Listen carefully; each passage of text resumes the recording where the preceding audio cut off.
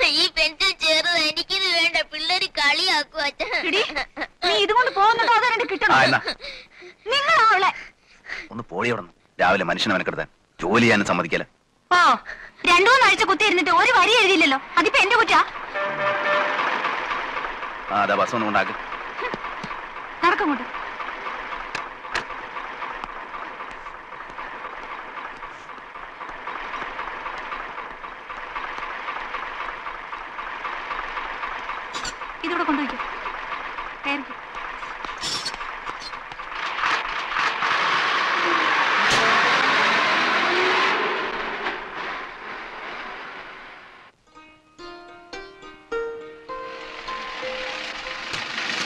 ഒന്ന് ഫോൺ അടിച്ചു ആരും അറിയണ്ട ഞാൻ പോരാ. ആ. ആ.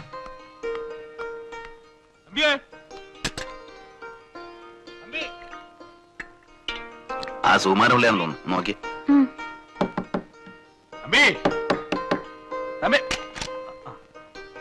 ഉണ്ടല്ലോ. ആരിത് പിള്ളേച്ചനോ? എവിടെ നിന്ന് വരുന്നു? ഇന്നലെ എവിടെ ആയിരുന്നു പ്രോഗ്രാം പാരിപ്പള്ളി. വരുന്ന വഴിയാ. ഒരുമാതിരി അലന്ന ഓഡിയൻസ് അമ്പലപ്പറമ്പല്ലേ? ഇരിക്കെ. മാലയിൽ ഒരു ചായ. ആ, ചായ ഒന്നും വേണ്ടോ കുഞ്ഞെ വേണ്ട. പല ഒരു തേച്ചിട്ടില്ല. പിള്ളേച്ചൻ ഇരിക്കേ. ഇരിക്കാനൊന്നും സമയമില്ലെന്ന്. ഇതിങ്ങളെല്ലാം ഇതുങ്ങളെല്ലാം ഒന്ന് കുളിപ്പിച്ചെടുത്ത് മൂന്ന് മണിക്ക് മുമ്പ് കോളേജിൽ എത്തണം ആറ് മണിക്ക് കളിയാ. ആറ് മൂന്ന് ഒമ്പത്. ഒമ്പത് മണിക്ക് അവിടെ നിന്ന് പുറപ്പെട്ടാലേ ഒരു മണിക്ക് ചാലക്കുടി ചെന്ന് ചട്ട കയറാൻ പറ്റൂ. ആ സാധനങ്ങൾ എഴുതിയിട്ടില്ല. ശരിയായില്ല. സബ്ജക്റ്റ് ഒക്കെ ആയി വരുന്നതേ ഉള്ളൂ. താൻ പിന്നെ എന്തോ ആലോചിച്ചുകൊണ്ട് അടുത്ത ആഴ്ച റിഹേഴ്സൽ വെച്ചോളാൻ പറഞ്ഞത്. ഞാനാണ് എല്ലാം അറേഞ്ച് ചെയ്തു. ഉദ്ഘാടന പ്രോഗ്രാം കൊടുത്തു. സബ്ജക്റ്റ് ആയി വരുന്നേ ഉള്ളെന്ന്. എവിടുന്ന് വരാനാ? ആകാശത്ത് പൊട്ടു വീഴുന്നു? ആലോചിക്കണേ. ആലോചിച്ചാലേ വരൂ. ആ അത് തന്നെ പഠിപ്പിക്കൊന്നും വേണ്ട. ആലോചിച്ചാലേ വരൂ. മനുഷ്യനാ കമ്പ്യൂട്ടർ ഒന്നും അല്ല സ്വിച്ചിന് ഇങ്ങോട്ട് വരാൻ. ആ ഇതൊക്കെ അഡ്വാൻസ് ചുള പോലെ എന്ന് വാങ്ങിക്കുമ്പോ ആലോചിക്കണമായിരുന്നു. ഒരാഴ്ചക്കുള്ളിൽ പുളിച്ചു തരാമെന്ന് താനല്ലേ പറഞ്ഞത്. വേണ്ടായിരുന്നല്ലോ. കുഞ്ഞങ്ങ് ക്ഷീണിച്ചു പോയല്ലോ. കൊച്ചന്തിയെ പൊടി. അവൾ സ്കൂളിൽ പോയി. അയ്യോ പറഞ്ഞ പോലെ മണി ഒമ്പതായല്ലോ. താൻ കാണിച്ച് കാര്യം ചെയ്യ് എഴുതട്ടെ എന്റെ കൂടെ വാ. നമുക്ക് ആ പഴയ സ്ഥലത്ത് പോയിരുന്ന് കുഞ്ഞേ കുഞ്ഞെ ഇവിടെ ഇരുന്ന് അയാൾ പണി ചെയ്ത് തരത്തില്ല. ഒരാഴ്ച എനിക്കൊന്ന് വിട്ടതാ. കഴിഞ്ഞ രണ്ട് നാടകവും അവിടെ ഇരുന്ന് അയാൾ എഴുതിയത്. അവിടെ ഇരുന്നാൽ ഇയാൾക്ക് എടുത്തു വരൂ. ഞാൻ കൊണ്ടുപോട്ടു. എന്താ? അല്ലെങ്കിൽ ഒരു കാര്യം ചെയ്യാം. ഞാൻ ബിഷംബറിനോട് ഒരു ടാക്സി എടുത്ത് ഇങ്ങോട്ട് വരാൻ പറയാം. നിങ്ങൾ ഉച്ച കഴിഞ്ഞ് പുറപ്പെട്ടാ മതി. ഏയ് അതൊന്നും വേണ്ട. ഞാൻ ബസ്സിലങ്ങ് വന്നോ വരുമല്ലോ. ചതിക്കല്ലേ. അപ്പോ ഞാൻ ഇറങ്ങട്ടെ. വിട്ടേക്കണേ. ആ ആ. നീ ആ പെട്ടിയിൽ അത്യാവശ്യം സാധനങ്ങൾ എടുത്ത് വെക്ക്. പത്തര മണിക്കൊരു ബസ്സുണ്ട്. അതിലങ്ങ് പോവാം. പോവാനങ്ങ് തെറിയായി. ഓ തുടങ്ങി. പിന്നെ നിന്റെ മോഹം കണ്ടോണ്ടിരുന്ന എഴുത്തു പരിപാടി. അതൊന്നുമല്ല. അവിടെ ആവുമ്പോ പലതിനും സൗകര്യം ഉണ്ടല്ലോ ആരും അറിയത്തൂല്ല കണ്ടോ കണ്ടോ? മനസ്സിന്റെ ഒരു ദുഷ്ചിന്ത. ഒരു കാര്യം ചെയ് ശനിയും ഞായറും മോക്ക് അവധിയാണല്ലോ നീ വീട്ടിൽ പോയിക്കോ. പോകുന്ന വഴി അതിലെ വാ. പോരെ.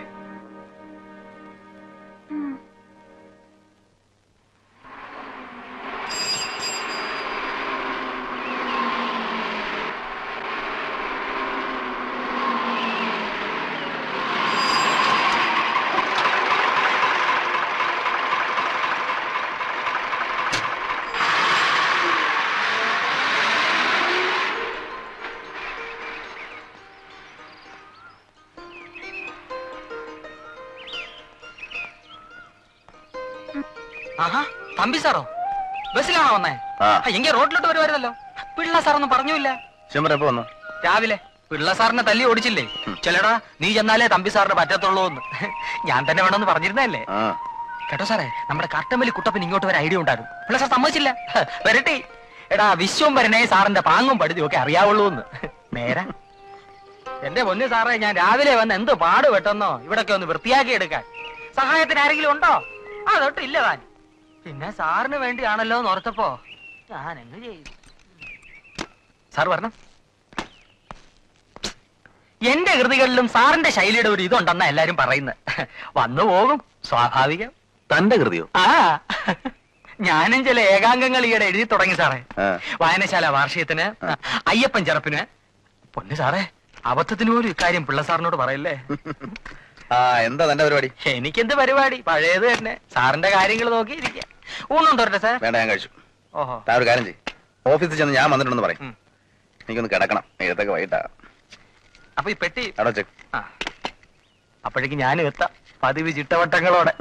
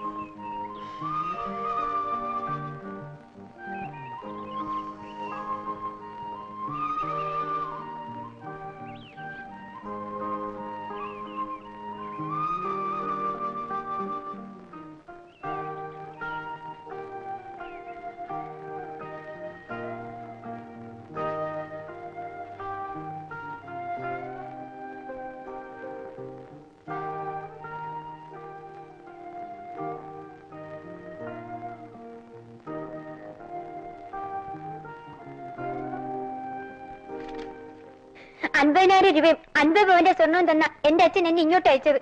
എന്റെ മോനൊരു സ്കൂട്ടറും പിന്നെ ഒരു ഫ്രിഡ്ജും തരാൻ അച്ഛൻ പറഞ്ഞല്ലേ നീ ചോദിച്ചോ? വീടും പറമ്പും വിറ്റാലുടനെ അത് ഇവിടെ എത്തിച്ചു തരാന്ന് അച്ഛൻ പറഞ്ഞിട്ടുണ്ടല്ലോ. എന്റെ അച്ഛൻ പറഞ്ഞ വാക്ക് മാറ്റുന്നവനല്ല. ഫ്രിഡ്ജ് ഇവിടെ ഉണ്ടല്ലോ അമ്മേ. അതിന് പകരം ഒരു വാഷിംഗ് മെഷീൻ തരാൻ പറ. തുണി അലക്കുന്ന യന്ത്രം.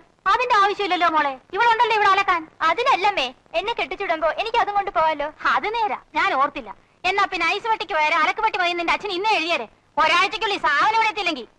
ഒരാഴ്ചക്കുള്ളിൽ ഈ പറഞ്ഞ സാധനങ്ങൾ എത്തിയില്ലെങ്കിൽ ഇവളുടെ ഏത് ഭാഗത്താ മോനെ നീ ഇടിക്കാൻ തീരുമാനിച്ചിരിക്കുന്നേ? ഇടി നിർത്തിയമ്മേ ഇനി തൊഴിക്കാം. ഇവളുടെ അടി വയറ്റിനിട്ട് തൊഴിക്കാം. എന്റെ വയറ്റിൽ നിങ്ങളുടെ കുട്ടിയുണ്ട്. അതുകൊണ്ടാണല്ലോ അവിടെ തന്നെ തൊഴിക്കാൻ തീരുമാനമെടുത്തിരിക്കുന്നത്. നിങ്ങളൊരു ഭർത്താവാണോ? അല്ലടി ഞാൻ എന്റെ അമ്മയുടെ മകനാ. അങ്ങനെ പറഞ്ഞു കൊടുക്കും മോനെ. നീയാണടാ ശരിയായ പുരുഷൻ. ഇവിടെ അച്ഛൻ പറഞ്ഞ സാധനങ്ങൾ ഒരാഴ്ചക്കുള്ളിൽ ഇവിടെ എത്തിയില്ലെങ്കിൽ നീ എങ്ങനെയാ ഇവിടെ തൊഴിക്കാൻ വന്ന് കാണിച്ചേ? ആ, ഊ, ഊ.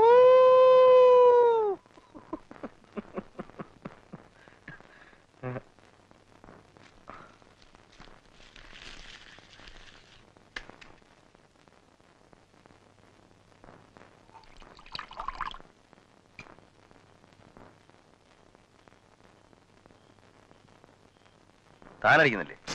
ആ, എടുത്ത് കഴിക്കണോ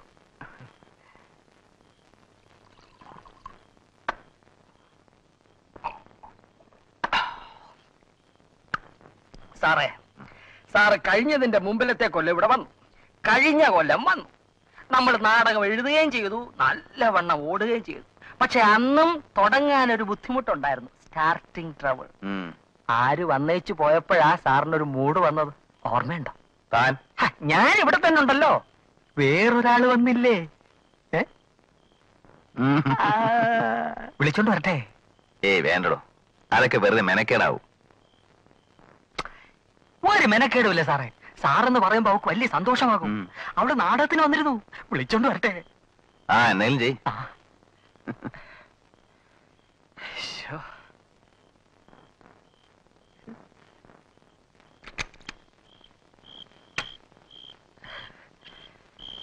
ശ്ശോ. ഞാൻ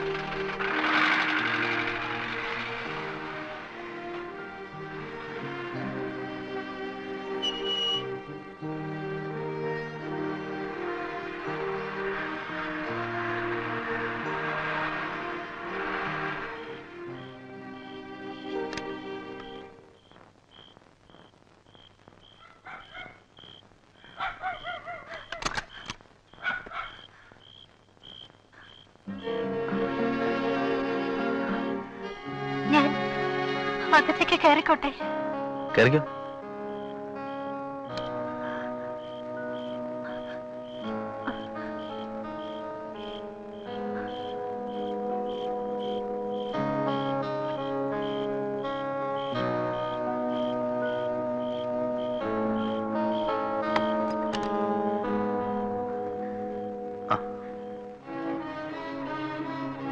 വിശ്വംബരം പോയോ? എന്തിനാ പേടിക്കുന്നേ? നമുക്ക് ആ മുറിയിലോട്ട് പോവാം. ഇവിടെ സ്ത്രീകൾ ആരുമില്ലേ അതുകൊണ്ടാണല്ലോ വരാൻ പറഞ്ഞു വാ. ദേ ഇവിടെ വേണ്ടാത്ത ജാടയൊന്നും വേണ്ട. മാവനോട് മാവനെ സാർ. സാറേ. സാറേ.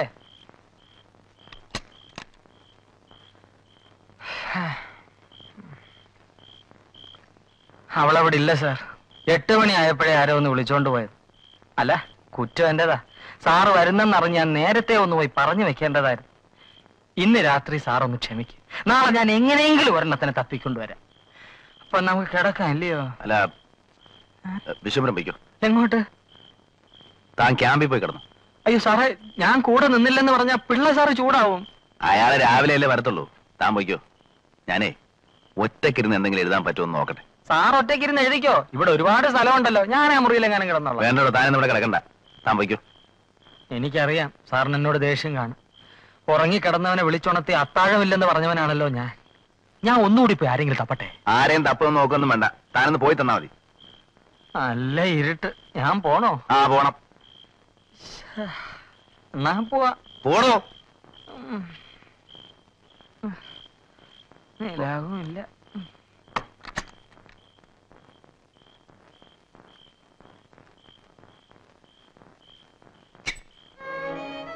നീ ആരാ? നീ എവിടെ നിന്ന് വരുന്നു? ആരാന്ന് പറയണേ ദേ കൂടുതൽ അഭിനയൊന്നും ഇവിടെ വേണ്ട. ഞാനിതൊക്കെ കുറെ കണ്ടതാ.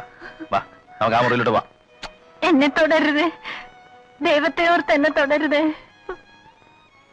എന്നാ പിന്നെ ഇറങ്ങിപ്പോ. ഇറങ്ങടി. എന്നെ ഇറക്കി വിടരുത്. ഞാൻ വെളുപ്പിന് പോയിക്കൊള്ളാം. പ്ലീസ് ഞാൻ നേരം എടുക്കുന്നവരെ നിന്നെ കണ്ടോണ്ടിരിക്കണോ ഇറങ്ങടി. എന്നെ ഇറക്കി വിടരുത്. വിട്ടാൽ അവരെന്നെ കൊല്ലും. ആര്? അതൊന്നും ഞാൻ പറയില്ല. ഞാൻ ഈ രാത്രി ഇവിടെ ഒന്ന് കഴിഞ്ഞോട്ടെ. ഇവിടെ എവിടെയെങ്കിലും ഇരുന്നോളാം. പുറത്തിറക്കി വിടാതിരുന്നാൽ മതി.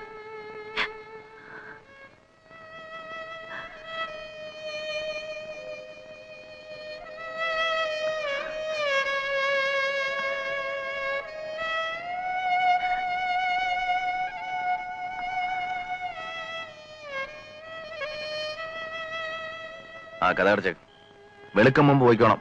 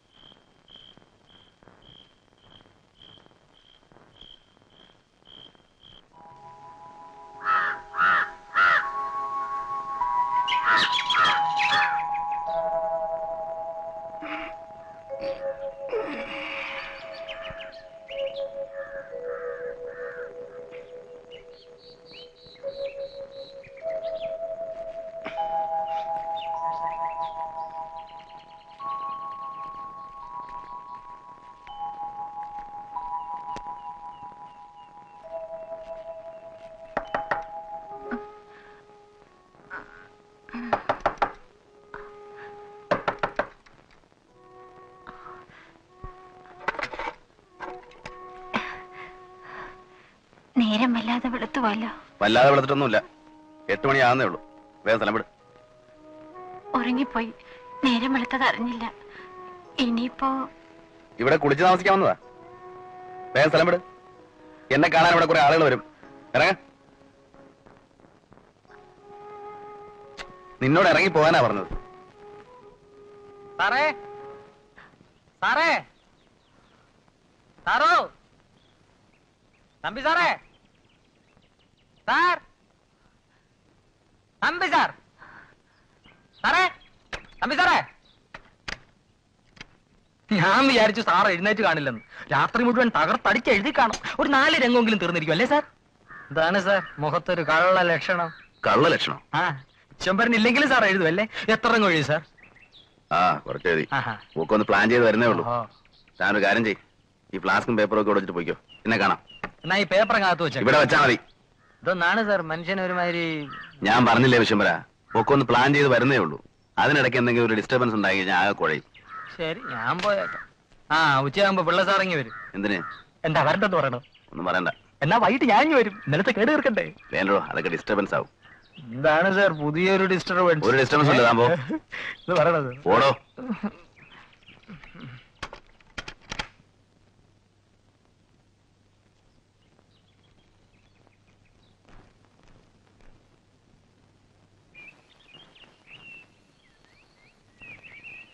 ഏയ്.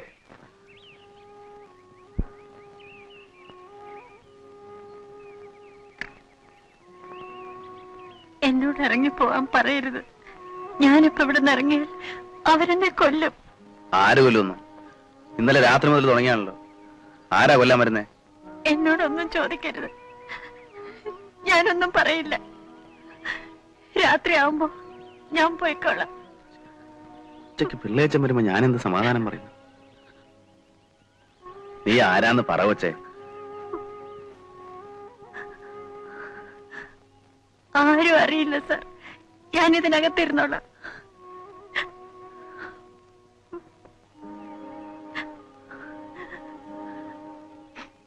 സന്ധ്യാകുമ്പോ പൊയ്ക്കോളൂല്ലോ വിശക്കുന്നുണ്ടോ? പല്ലുതൊക്കെ കുളിക്കാന്താന്ന് വെച്ചാ ചെയ്. വേണം. ഞാൻ മാനമര്യാദക്ക് ജീവിക്കുന്നവനാ.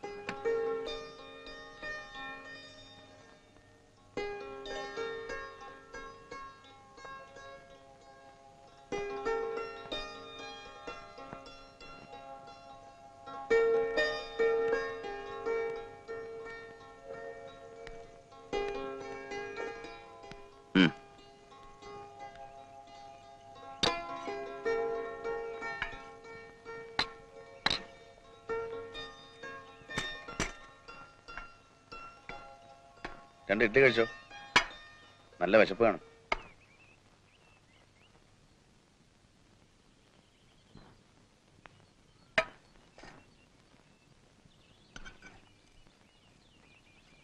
അവിടെ ഇരുന്ന് കഴിച്ചോ?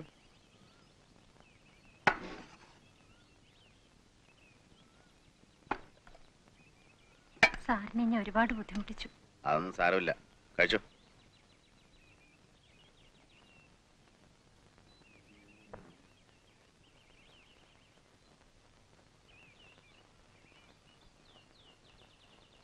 എന്താ പേര് പറയാൻ മടിയുണ്ടോ വനിത. ഇന്നലെ രാത്രി നിന്നെ കണ്ടിട്ട് ഒരു അലവലാതി പെണ്ണാണെന്ന് എനിക്ക് തോന്നിയത്. ഇല്ലെങ്കിൽ പാതിരാത്രി ഒറ്റക്കരം കറങ്ങൂ.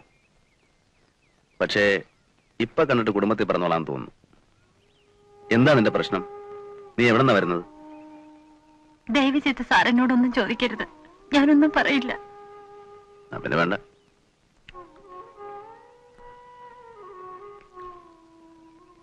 കഴിച്ചിട്ട് ആ മുറി തന്നെ കറിയിരുന്നു ഇരുട്ടുമ്പോഴേക്കും സ്ഥലം വിട്ടോണം.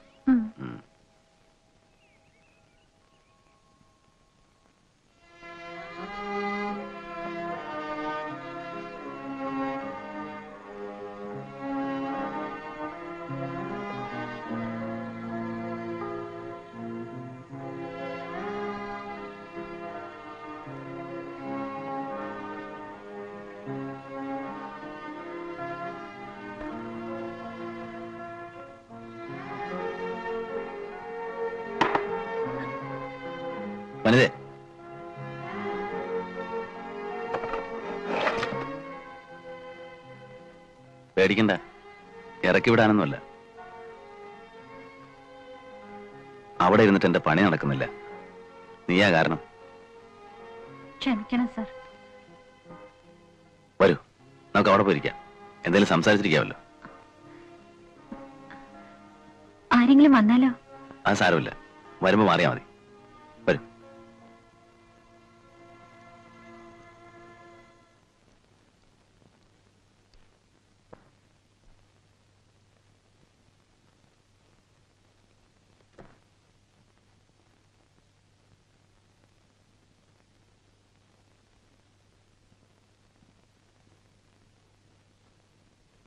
ഇരിക്ക് ഞാൻ ആരാണെന്ന് മനസ്സിലായോ? നേരത്തെ മനസ്സിലായി. നാടകമായിരുന്ന തമ്പിസാറല്ലേ ഞാൻ പത്രത്തിൽ പടം കണ്ടിട്ടുണ്ട്. അപ്പൊ ഞാൻ തീരെ അപരിചിതനല്ല. ഇരിക്ക്.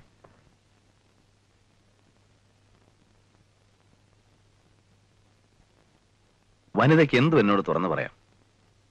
മറ്റുള്ളവരുടെ അനുഭവങ്ങൾ അറിയാൻ എനിക്ക് വളരെയേറെ കൗതുകമുണ്ട്. വനിതയെ സഹായിക്കാൻ പറ്റുമെങ്കിൽ അതും ചെയ്യാം.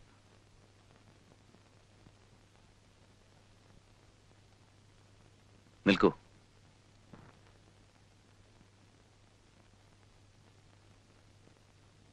നിനക്ക് ബന്ധുക്കളാരുമില്ലേ? അച്ഛനും അമ്മയും? കല്യാണം കഴിച്ചാണോ? അല്ല. പറയൂ കുട്ടി.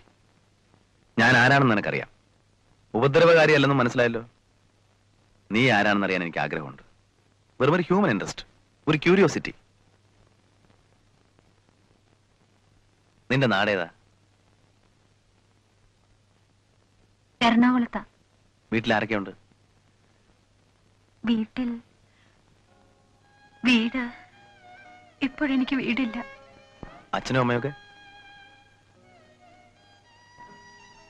അച്ഛൻ മരിച്ചുപോയി. അമ്മയോ? അമ്മയുണ്ട്. എവിടെയാണെന്ന് അറിയില്ല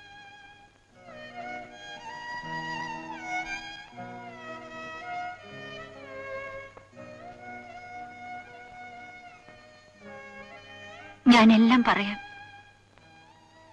ഞാൻ എന്റെ കഥ സാറിനോട് പറയാം. സാറിനൊരു പക്ഷെ പ്രയോജനപ്പെടും. തുടക്കം മുതൽ പറയാം. സാറ് മുഴുവൻ കേൾക്കൂ. കേൾക്കാം.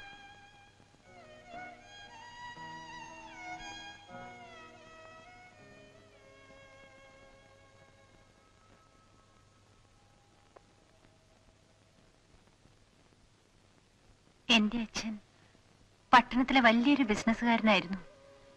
എക്സ്പോർട്ടായിരുന്നു ബിസിനസ് അച്ഛന്റെ പേര് സേതുമാധവൻ എന്നായിരുന്നു. അമ്മയുടെ പേര് എലിസബത്ത് എന്ന. അവർ സ്നേഹിച്ച് വിവാഹം കഴിച്ചതായിരുന്നു. ഞങ്ങൾ രണ്ടു കുട്ടികളാ. എന്റെ ഇളയതാണ് മോഹൻ. എല്ലാ സുഖങ്ങളുടെയും നടുവില ഞങ്ങൾ വളർന്നു വന്നത്. പക്ഷേ വീട്ടിലെന്തോ സമാധാനമില്ലായിരുന്നു. അച്ഛനും അമ്മയും തമ്മിൽ വഴക്കിടാത്ത ദിവസങ്ങളില്ല. ചിലപ്പോൾ അച്ഛൻ വീട് വിട്ട് ദിവസങ്ങളോളം ഹോട്ടലുകളിലും മറ്റും തങ്ങും. അമ്മയുടെ ശല്യം സഹിക്കാൻ വയ്യെന്നും പറഞ്ഞ്. അച്ഛൻ പോയാൽ അമ്മ ഇറങ്ങും. ഞങ്ങൾ കുട്ടികൾ തനിച്ചാവും. വേലക്കാരുണ്ടാവും വല്ലതും വെച്ചു തരാൻ? എനിക്ക് ഓർമ്മ വെച്ച കാലം മുതൽ ഏതാണ്ട് ഇതായിരുന്നു വീട്ടിലെ സ്ഥിതി. അറിവ് വെച്ചപ്പോൾ ജീവിതം എന്താണെന്ന് മനസ്സിലാക്കി തുടങ്ങിയപ്പോൾ ഓരോന്നിന്റെയും അർത്ഥം പിഴയട്ടി തുടങ്ങി. ഒരിക്കലും ഒത്തുചേരാൻ പാടില്ലാത്ത രണ്ട് വ്യക്തികളായിരുന്നു എന്റെ അച്ഛനും അമ്മയും എന്ന് ഞാൻ മനസ്സിലാക്കി. ഞാൻ കോളേജിൽ ഒന്നാം വർഷം ഡിഗ്രിക്ക് പഠിക്കുമ്പോൾ അച്ഛന്റെ ബിസിനസ്സിൽ നഷ്ടങ്ങൾ വന്നു തുടങ്ങി. അച്ഛന്റെ ശ്രദ്ധ കുറവുകൊണ്ടാകാം അത് സംഭവിച്ചത്. മനസ്സമാധാനം നഷ്ടപ്പെട്ട അച്ഛൻ ശാരീരികമായും തളർന്നിരുന്നു. വീട്ടിൽ പണത്തിന്റെ കുറവ് ആദ്യമായി അനുഭവപ്പെട്ടു തുടങ്ങി. പട്ടിണിയുടെ വക്കോളം എത്തി. എന്റെ യുവത്വത്തിന്റെ സ്വപ്നങ്ങളുടെ നിറങ്ങൾ മങ്ങിത്തുടങ്ങി ഞാൻ പുതിയ സ്വപ്നങ്ങൾ തേടി. കവിതകളായി അത് ഞാൻ നെയ്തെടുത്തു. കവിതകളായിരുന്നു എന്റെ ജീവൻ.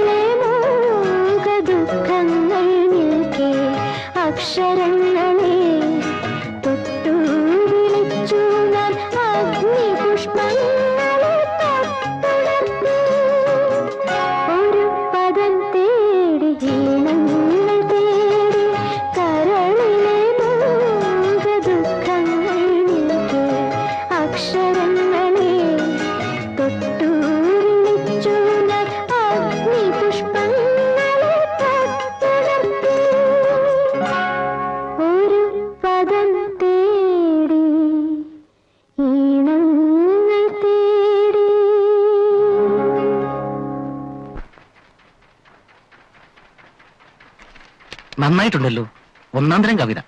ഇത് കുട്ടിയുടെ ആദ്യത്തെ കവിതയാണോ? അല്ല മുൻപ് എഴുതിയിട്ടുണ്ട്. പ്രസിദ്ധീകരിച്ചിട്ടില്ല. കവിതയുടെ കൂമ്പടഞ്ഞു പോയി കൂമ്പടഞ്ഞു പോയി എന്ന് നിരൂപരെല്ലാം പറയാറില്ലേ? അത് തെറ്റാണ്.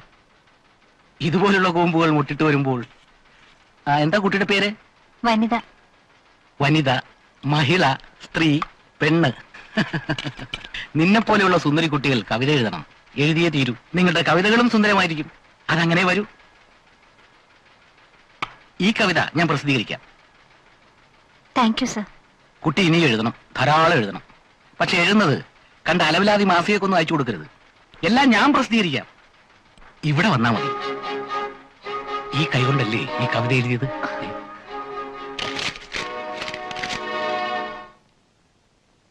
ഈ എഡിറ്റർ എന്റെ ഒരു അടുത്ത സുഹൃത്താ.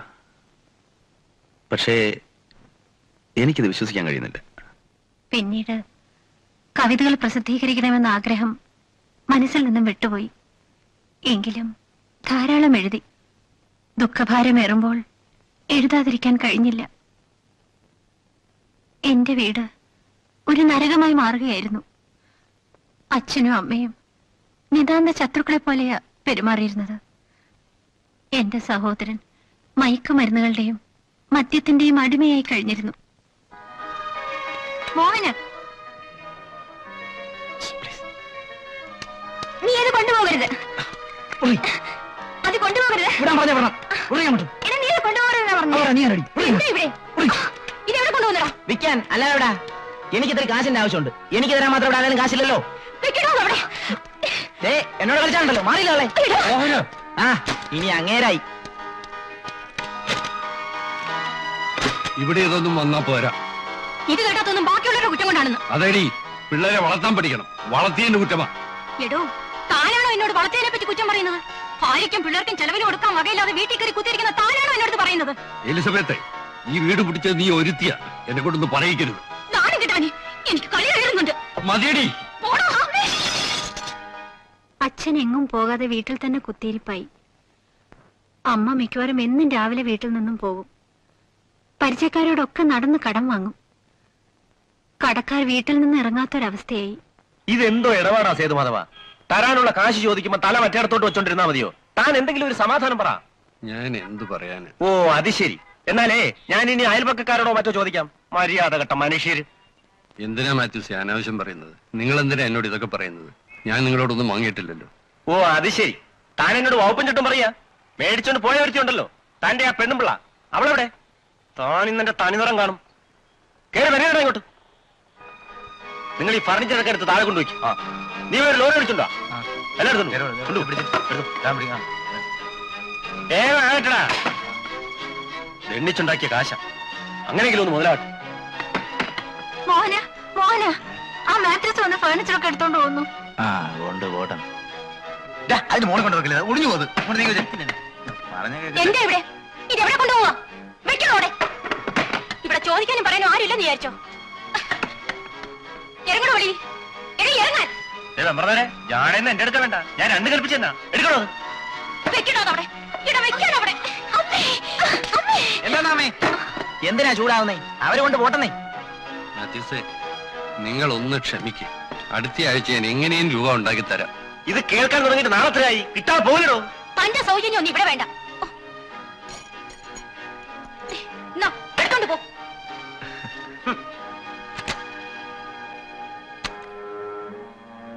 എങ്ങനെയൊക്കെയോ നാളുകൾ കടന്നുപോയിക്കൊണ്ടിരുന്നു. ഞാൻ കോളേജിലെ പഠിത്തം പൂർത്തിയാക്കി. അവസാന വർഷത്തെ പരീക്ഷ എഴുതിയിട്ടിരിക്കുന്ന സമയമായിരുന്നു അത്. അമ്മ ദിവസവും വീട്ടിൽ നിന്നും പോയാൽ വളരെ ഇരുട്ടിയിട്ടായിരിക്കും തിരിച്ചെത്തുക. അമ്മ എവിടെ പോയിരുന്നുവെന്ന് അച്ഛൻ അന്വേഷിച്ചതുമില്ല. ഒരു ദിവസം ചേച്ചി ഞാൻ പോട്ടെ. വാ സുരേഷ്. ഇല്ല അതല്ല. ഇപ്പൊ കയറിയ ശരിയാവില്ല. ഇനി ഒരിക്കലാവാം.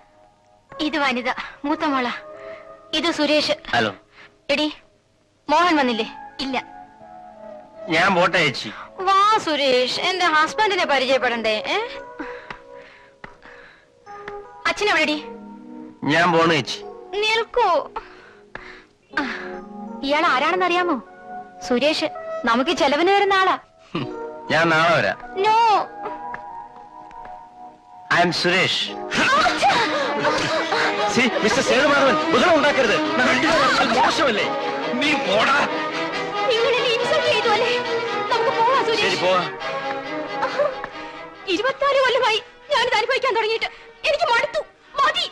ഞാൻ പോയിടോ പോയി തൊലയിടി എവിടെയെങ്കിലും. മടുത്തു മോളെ മടുത്തു. അന്ന് പോയതാ. പിന്നീട് ഞാൻ അമ്മയെ ഇതുവരെ കണ്ടിട്ടില്ല. അതിന്റെ മൂന്നാം ദിവസം രാവിലെ ഞാൻ അച്ഛന്റെ മുറിയിൽ ചെല്ലുമ്പോ അച്ഛ കാപ്പി. അച്ഛ. അച്ഛ. അച്ഛ. അച്ഛ. മോഹന. അച്ഛ.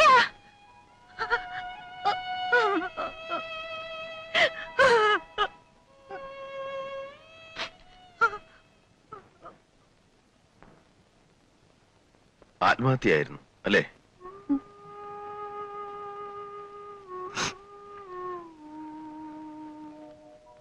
ജീവിതം കൂടുതൽ ദുസ്സഹമായി. വീട്ടിൽ ഞാൻ ഒറ്റയ്ക്കായി. മോഹൻ വല്ലപ്പോഴും എങ്ങാനും വീട്ടിൽ വന്നാലായി.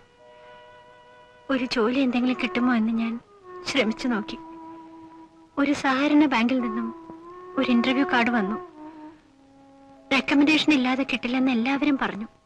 ബാങ്കിന്റെ ചെയർമാൻ സ്ഥല എം എൽ എ ആയിരുന്നു.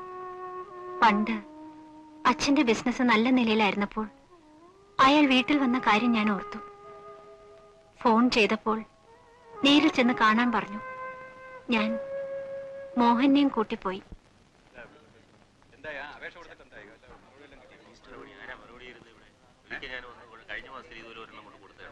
അന്ന് എന്നോട് പറഞ്ഞതേ രണ്ടാഴ്ച കഴിഞ്ഞു. ഇടയ്ക്ക് പാലോട് സാറിനെ ഒന്ന് കാണണം ഡയറക്റ്റ് ആയിട്ട് കണ്ടാൽ മതി അകത്തേക്ക് പോയിക്കോളൂ. വനിതാ എസ് നായർ അല്ലേ? അതെ. നായര് മാത്രമല്ല സാറേ അമ്മ ക്രിസ്ത്യാനിയാ. അല്ല അതറിയാം. അതുകൊണ്ടാണല്ലോ പാലോട സാറിന് ഇക്കാര്യത്തിൽ ഇത്രയും വലിയ താല്പര്യം. എന്നാ പിന്നെ അകത്തേക്ക് എന്നാട്ടെ സാറിന് ഉടനെ വെളിയിൽ പോകണമെന്നാ പറയുന്നത്. ആപ്ലിക്കന്റ് മാത്രം പോയാ മതി. ഇതാരാ? എന്റെ ബ്രദറാ. ആ താൻ അവിടെ ഇരിക്കും. ആ കുട്ടി പോയി കാര്യം പറഞ്ഞിട്ട് വരട്ടെ. അല്ല ഞാൻ കൂടെ പോവാം. അതിനെന്താ? ഡോഡോ തനിക്കാണോ ജോലി വേണ്ടത്? അതോ ഈ കുട്ടിക്കാണോ? ആ ജോലി അവക്ക് തന്നെ. ആ എന്നാ കുട്ടി പോയി കാര്യം പറഞ്ഞിട്ട് വരട്ടെ. താൻ അവിടെ ഇരിക്കും. മോഹന നീ ഇവിടെ ഇരിക്കെ. ഞാൻ പോയിട്ട് വരാം. ഉം.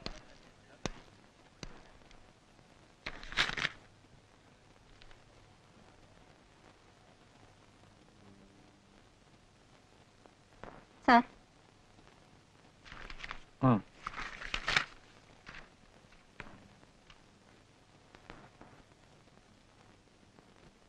ഓ ഗ്രാജുവേറ്റ് ആണല്ലേ അതെ.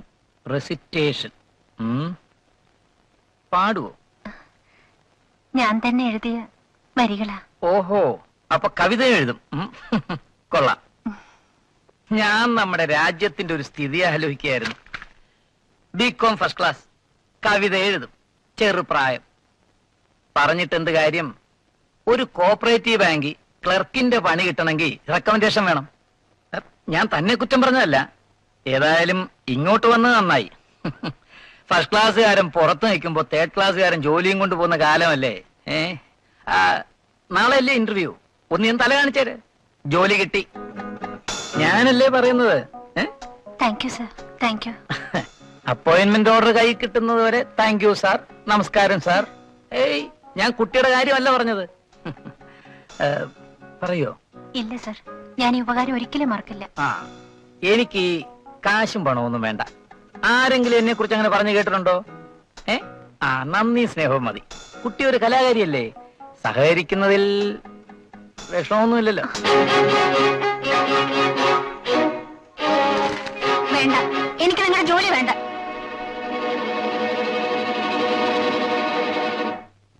ഇയാളെ പറ്റി ഇങ്ങനെയൊന്നുമല്ല ഞാൻ കേട്ടിരുന്നത്. പിറ്റേന്ന് അയാളുടെ ആരോ വീട്ടിൽ വന്നു. അയാൾ അങ്ങനെ പെരുമാറിയ വിവരം പുറത്തു പറഞ്ഞാൽ എന്നെ കൊന്നുകളയെന്ന് ഭീഷണിപ്പെടുത്തി ഞാൻ ആരോടും പറഞ്ഞില്ല. ജനസേവകൻ.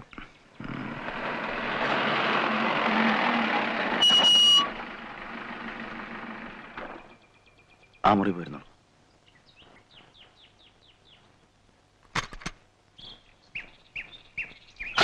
അമ്പിയേ? അമ്പി അമ്പി ഇയാളല്ല കഥ കടച്ചിരുന്ന് ഉറങ്ങുകയാണ് തമ്പി. ആ വെള്ളയച്ചനാ. ഇതൊക്കെ ആ വിശ്വംബന്റെ കൊടുത്തയച്ചാ പോരായിരുന്നു? താൻ രാവിലെ മൂടോട്ടാണെന്ന് വിശ്വംബരം എന്ന് പറഞ്ഞപ്പോഴേ മനസ്സിലായി തനിക്ക് എവിടുന്നോ ഒരു സാധനം വീണ് കിട്ടിയിട്ടുണ്ടെന്ന്. അതിലെ ഞാൻ തന്നെ വന്നത്. വാ.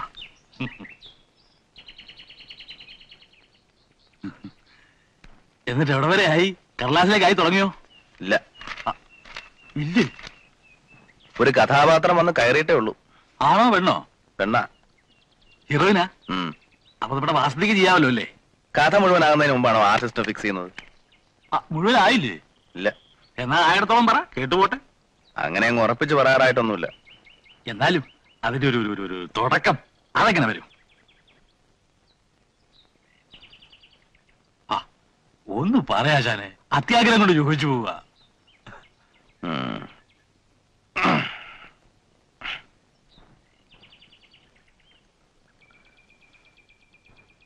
ഒരു പെൺകുട്ടി. വ്യത്യസ്ത ജാതിയിൽപ്പെട്ടവരായിരുന്നു അച്ഛനും അമ്മയും. അച്ഛൻ വലിയൊരു ബിസിനസ്സുകാരൻ അമ്മ സൊസൈറ്റി ലേഡി പെൺകുട്ടി കോളേജ് പഠിക്കുന്നു. കഥ എഴുതും കവിത എഴുതും. കവിത എന്ന് പറഞ്ഞാൽ ഇപ്പൊ പാട്ടാവാല്ലോ. ആ. എന്നിട്ട്? ചുരുക്കി പറയാം. അച്ഛന്റെ ബിസിനസ് പൊളിയുന്നു. ദാരിദ്ര്യം. അമ്മ ഒരു ചെറുപ്പക്കാരന്റെ കൂടെ ഒളിച്ചോടി പോകുന്നു. ആ ഷോക്കിൽ അച്ഛൻ ആത്മഹത്യ ചെയ്യുന്നു. ഒറ്റയ്ക്കായ പെൺകുട്ടി ഒരു ജോലി തേടി അലയുന്നു. ജോലി കൊടുക്കാൻ പലരും തയ്യാറാണ്. പക്ഷെ അവർക്കൊക്കെ പകരം വേണ്ട മനസ്സിലായി മനസ്സിലായി മനസ്സിലായി. പെണ്ണുങ്ങളുടെ കണ്ണ് നനയാനുള്ള സാധനമൊക്കെ ആയി. ആ എന്നിട്ട്? അവിടം വരെ ആയിട്ടുള്ളൂ. ഇവിടം വരെ ഓക്കെ. നമുക്ക് വേണ്ടല്ലോ അതിനകത്തുണ്ട്? ബാക്കി ബാക്കി നമുക്ക് വേറൊരു ലൈൻ ചിന്തിച്ചാലോ? എങ്ങനെ? അതായത് പ്രതികൂല സാഹചര്യങ്ങളുമായി പിടിച്ചു നിൽക്കാൻ കഴിയാതെ ഈ പെൺകുട്ടി ഒരു വേശിയായി മാറും. ആ അത് വേണ്ട. അതെന്താ? അവൾക്കൊരു വേശിയാവാൻ പറ്റില്ല. അത് നമ്മളല്ലേ? പറ്റില്ലെന്ന് പറഞ്ഞല്ലേ? അത് ഇയാളെന്ന് ചൂടാകുന്നേ? നമ്മുടെ സ്വന്തമൊന്നും അല്ലല്ലോ അങ്ങനെ ഓരോ രാത്രിയും ഓരോ പുരുഷന്മാർ ഓരോ സ്ഥലം. സുഖിക്കാൻ വേണ്ടിയല്ല ജീവിക്കാൻ വേണ്ടി. അങ്ങനെ ഒടുവിൽ സമൂഹ മനസാക്ഷിയുടെ മുമ്പിൽ ഓ എന്ത് വന്നാലും സമൂഹ മനസാക്ഷിയുടെ നെഞ്ചത്താണല്ലോ. അല്ല ഷാനെ സമൂഹ മനസാക്ഷിയുടെ മുമ്പിൽ അവളൊരു ചോദ്യചിഹ്നമായിട്ട് അങ്ങനെ നിൽക്കുകയാണ്. ഓഹോ അപ്പൊ സ്റ്റേജിൽ ഇങ്ങനെ ചോദ്യചിഹ്നം പോലെ നിൽക്കുമായിരിക്കും. ഏതായാലും താൻ ഇത്ര ഒപ്പിച്ചല്ലോ. നമുക്കൊരു സ്മാൾ അടിച്ചിട്ട് ചാപ്പാടി കഴിക്കാം. വേണ്ട പിള്ളേച്ച ചാപ്പാടിയാൻ എന്നെ കഴിച്ചോളാം. ഈ മൂടിലൊരു പിടി പിടിച്ച കുറെ പോരും. എന്നാ ഒരു കാര്യം ചെയ്യാം. തന്റെ പണി നടന്നോട്ടെ. ഞാൻ ഒരു സ്മാൾ ഫിറ്റ് ചെയ്തിട്ട് ആ മുറി കിടന്നു ആ അത് വേണ്ട. ഇത് കളിയില്ല. അങ്ങനെയല്ല പിള്ളച്ച. പിള്ളച്ചൻ പോണം. ഇതെന്നും അടങ്ങി മുമ്പെങ്ങും ഇല്ലാത്തൊരു ശീലം. ഞാനിപ്പോ എന്താ വേണ്ട പോണോ? ആ അതാ നല്ലത്. ശരി തന്റെ ഇഷ്ടം. ഇത് വിടുന്നോട്ടെ ഉം. അപ്പൊ ഞാൻ പോട്ടോ. ആ. ആ.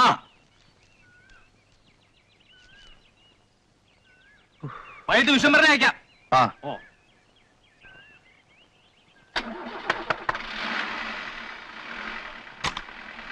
ഉം, നീ പോര്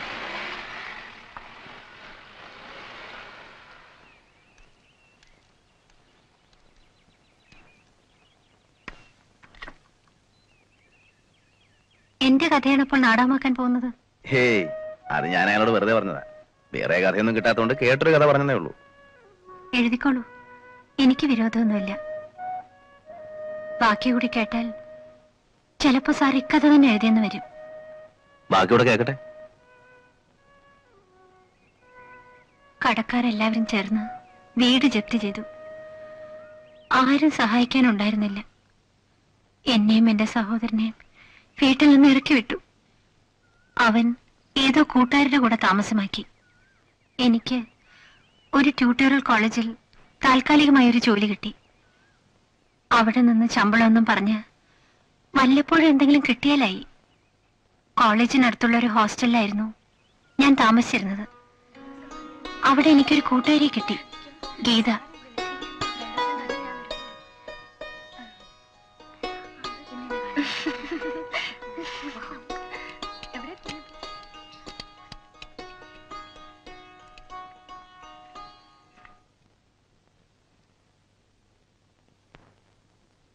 കുട്ടി എനിക്ക് കുട്ടിയോട് പേഴ്സണലായിട്ട് വഴക്കൊന്നുമില്ല.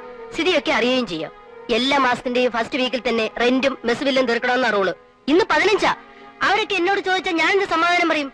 കുട്ടി അതൊന്ന് പറഞ്ഞതാ. ആ നാളെ രണ്ടിലൊന്ന് തീരുമാനിക്കണം കേട്ടോ. നമുക്ക് എന്തെങ്കിലും ഒരു വഴി ഉണ്ടാക്കാം ഒരു വഴിയുമില്ല ഗീതേ. എവിടുന്നാ? ആ, ഈ വളയിൽ ഒരെണ്ണം വിൽക്കാം.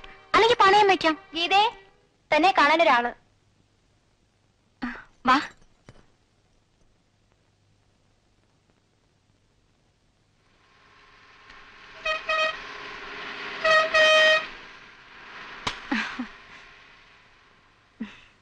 ഫോൺ വിളിച്ചാൽ തിരിച്ചു വിളിച്ചു വിടടി അമ്പത് പൈസ ചുമ്മാ ഉണ്ടാവോ? അതെ അതെ. പെട്രോൾ എനിക്ക് ഓസി കിട്ടണല്ലേ എന്റെ കസിനാണ്. അമ്മാവിന്റെ മോൻ. കൂട്ടുകാരിയുടെ പേരെന്താ? Vanitha. I'm Priyadarshan. Hello. Hello. പ്രിയനെ കണ്ടപ്പോൾ തന്നെ എന്തോ എനിക്ക് അയാളോടൊരു ഇഷ്ടം തോന്നി.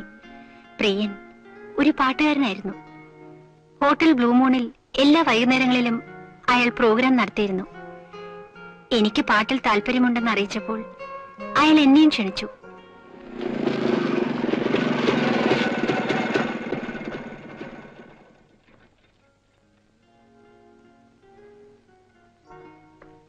ഹലോ. ഹലോ മുതലാളി ഉണ്ടല്ലോ. വരൂ.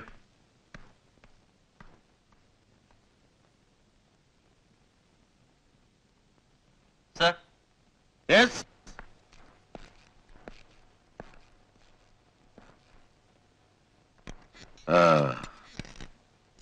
ഇതിനു മുമ്പ് എവിടെങ്കിലും പാടിയിട്ടുണ്ടോ? അല്ല ഹോട്ടലിലോ നാടകത്തിനോ ഗാനമേളയ്ക്കോ? ഇല്ല. അങ്ങനെ പ്രൊഫഷണൽ ആയിട്ടൊന്നും പാടിയിട്ടില്ലെന്നേ ഉള്ളൂ സാർ. കോളേജിലൊക്കെ ധാരാളം പാടിയിട്ടുണ്ട്. പിന്നെ കവിത എഴുതും. കവിതയോ? അതുകൊണ്ട് ഹോട്ടലിൽ എന്താ? തങ്കപ്പ പ്രയോജനം? ഒരു പ്രയോജനമില്ല കൊച്ചേ ഇവിടുത്തെ കാര്യം എങ്ങനെയാന്ന് ചോദിച്ചാൽ ഇവിടെ തിന്നേം കുടിക്കുകയും ചെയ്യാൻ വരുന്നവര് പാട്ട് കച്ചേരിയും ഗാനമേളയും ഒന്നും കേൾക്കാൻ വരുന്നവരല്ല. പിന്നെ നല്ല പാട്ടും കാണാൻ കൊള്ളാതെ പാടുമൊക്കെ ചെയ്യുമ്പോ അവർ കണ്ടവനങ്ങ് തിന്നെയും കുടിക്കുകയും ചെയ്തോളൂ. അതെ. തനിക്ക് അത്ര വിശ്വാസമാണെങ്കിൽ നോക്ക്. പുതിയ പാട്ട് എന്തെങ്കിലുമൊക്കെ പഠിപ്പിക്ക്. നോക്കാം. ആ ശമ്പളത്തിന്റെ കാര്യം ഞാൻ രണ്ടു ദിവസം കഴിഞ്ഞേ പറയത്തുള്ളൂ. കേട്ടോ കൊച്ചേ? താൻ പറയുന്നോണ്ട് ഞാൻ എടുക്കുക. താനല്ലേ ഇവിടുത്തെ സംഗീത സാമ്രാട്ട്. അല്ലേ തങ്കപ്പ? അതെ അതെ. ആ ചെല്ലി ചെല്ലു. ആ ശരി. അയാൾ അങ്ങനെയാ. കലാബോധമില്ലാത്ത പരട്ട നഷ്ടാണി വനിതയ്ക്ക് വിഷമമൊന്നുമില്ലല്ലോ.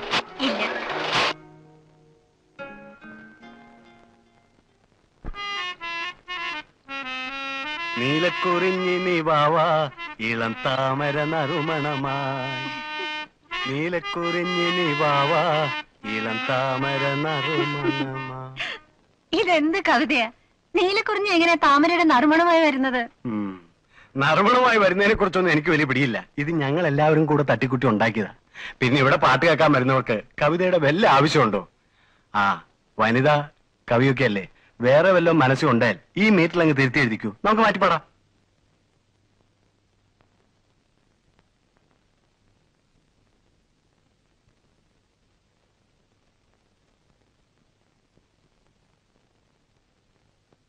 നീലക്കുറിഞ്ഞികൾ പൂത്തു. പുലർവേളകൾ പൂവിർത്തു. അങ്ങനെ ചേഞ്ച് ചെയ്യാം. ആ. പിന്നെ അടുത്ത വരി. ആടിത്തളരാത്ത പൂവിൻ കാതിൽ ആരാരോ പാടുന്നു. നാം ഇന്നീ വേളയിൽ സ്നേഹത്തിൻ മുന്തിരി നീരിനായി ദാഹിക്കുന്നു.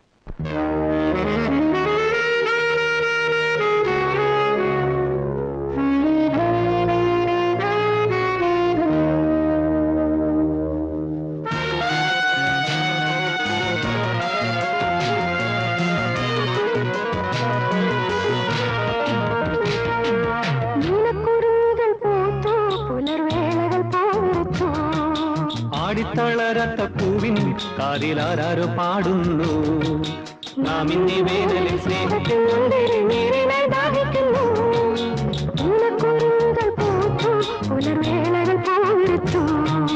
ആടിത്തളരത്ത പൂവിൻ കാതിലാരോ പാടുന്നു. നാം ഇന്നീ വേനലിൽ സ്നേഹത്തിൽ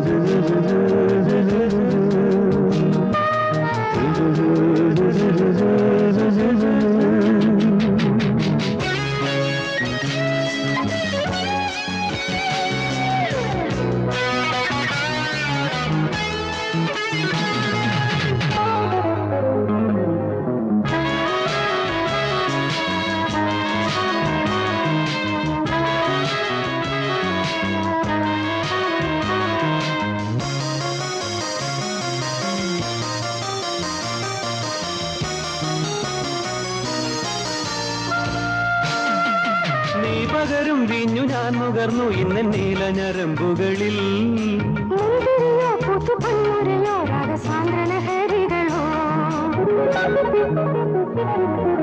നീ പകരും വീഞ്ഞു ഞാൻ നുകർന്നു ഇന്ന് നീല ഞരമ്പുകളിൽ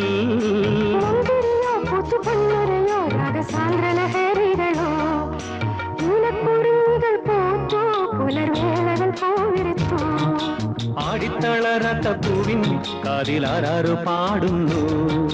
നാം ഇന്നീ വേനലിൽ സ്നേഹത്തിൻ മുന്തിരി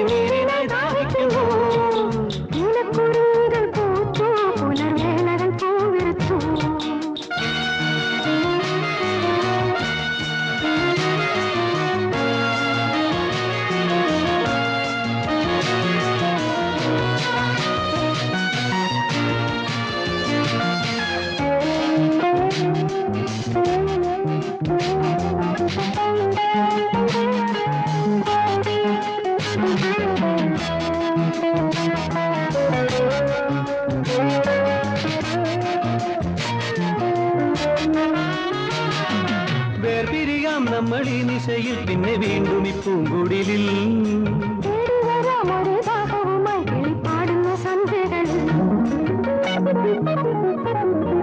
വേർപിരിയാം നമ്മൾ ഈ നിശയിൽ പിന്നെ വീണ്ടും ഈ പൂങ്കുടിലിൽ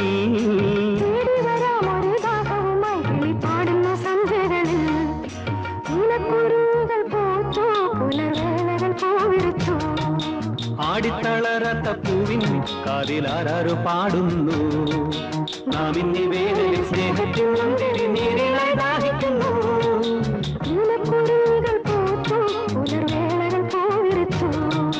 ആടിത്തളരാത്ത പൂവിൻ കാതിലാരാരോ പാടുന്നു. നാം ഇന്നി വേദനയിൽ മുന്തിരി ദാഹിക്കുന്നു. നീലക്കുറിഞ്ഞികൾ പൂത്തു. പുലർവേളകൾ പൂവിറുത്തു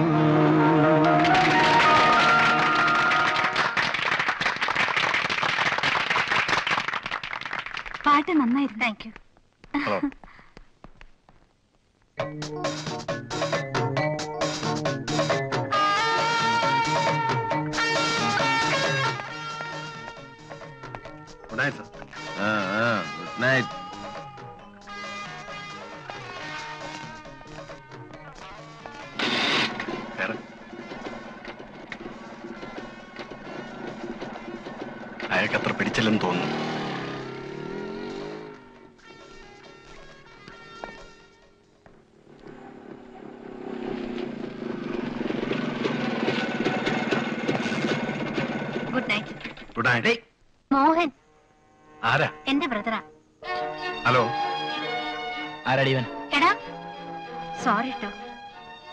പാതിരാത്രി ഒരു ഹോട്ടൽ ബിസിനസ് മണിക്കൂർ ഉണ്ടായാലും വാക്കുകൾ ഇവിടെ കുത്തിക്കാൻ തുടങ്ങിയിട്ട്. ഒച്ച വെക്കാതെ നിനക്ക് അങ്ങോട്ട് വരായിരുന്നില്ലേ ഓ നിന്റെ സ്റ്റാർ ഹോട്ടൽ ഞങ്ങളെ കേട്ടില്ലല്ലോ നീ ഇപ്പൊ എവിടെയാ? ഞാൻ ഇവിടെ തന്നെ ഉണ്ട് ചില്ലറ വല്ലതും ഉണ്ടോ? ഒരു ഇരുന്നൂറ് രൂപ ഇരുന്നൂറ് രൂപയോ? എടാ ഞാൻ ജോയിൻ ചെയ്തിട്ട് രണ്ടാഴ്ചയേ ഉള്ളൂ. ശമ്പളം കിട്ടിയില്ല. കിട്ടട്ടെ തരാം. ആ എന്നാ അതുവരെ ഞാനിവിടെ താമസിക്കാം. നീ വെക്കോ ഞാൻ അവിടെ താമസിക്കാൻ പോവാ. പടി. മോഹൻ.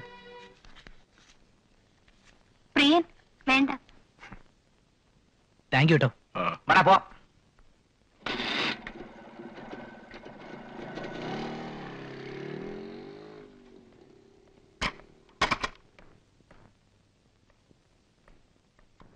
വലുതേ ഇത് കുറച്ച് അന്തസ്സും അഭിമാനമുള്ള ഒരു താമസിക്കുന്ന ഹോസ്റ്റലാണ്. എന്തായിരുന്നു അവിടെ ബഹളം? അനിയൻ. മണി ഇപ്പൊ എത്രയായി? പന്ത്രണ്ട്. മാഡം എന്റെ ഇവിടെ താമസിക്കണ്ട. മനസ്സിലായോ? പിറ്റേന്ന് മേറ്റന്റെ കാൽ പിടിച്ച് മറ്റൊരു സ്ഥലം കിട്ടുന്നത് വരെ അവിടെ തുടരാൻ അനുവാദം വാങ്ങിച്ചു. താമസിക്കാൻ ഒരു പുതിയ സ്ഥലം തേടി പല ദിവസങ്ങൾ നടന്നു. പ്രിയനും സഹായത്തിനുണ്ടായിരുന്നു.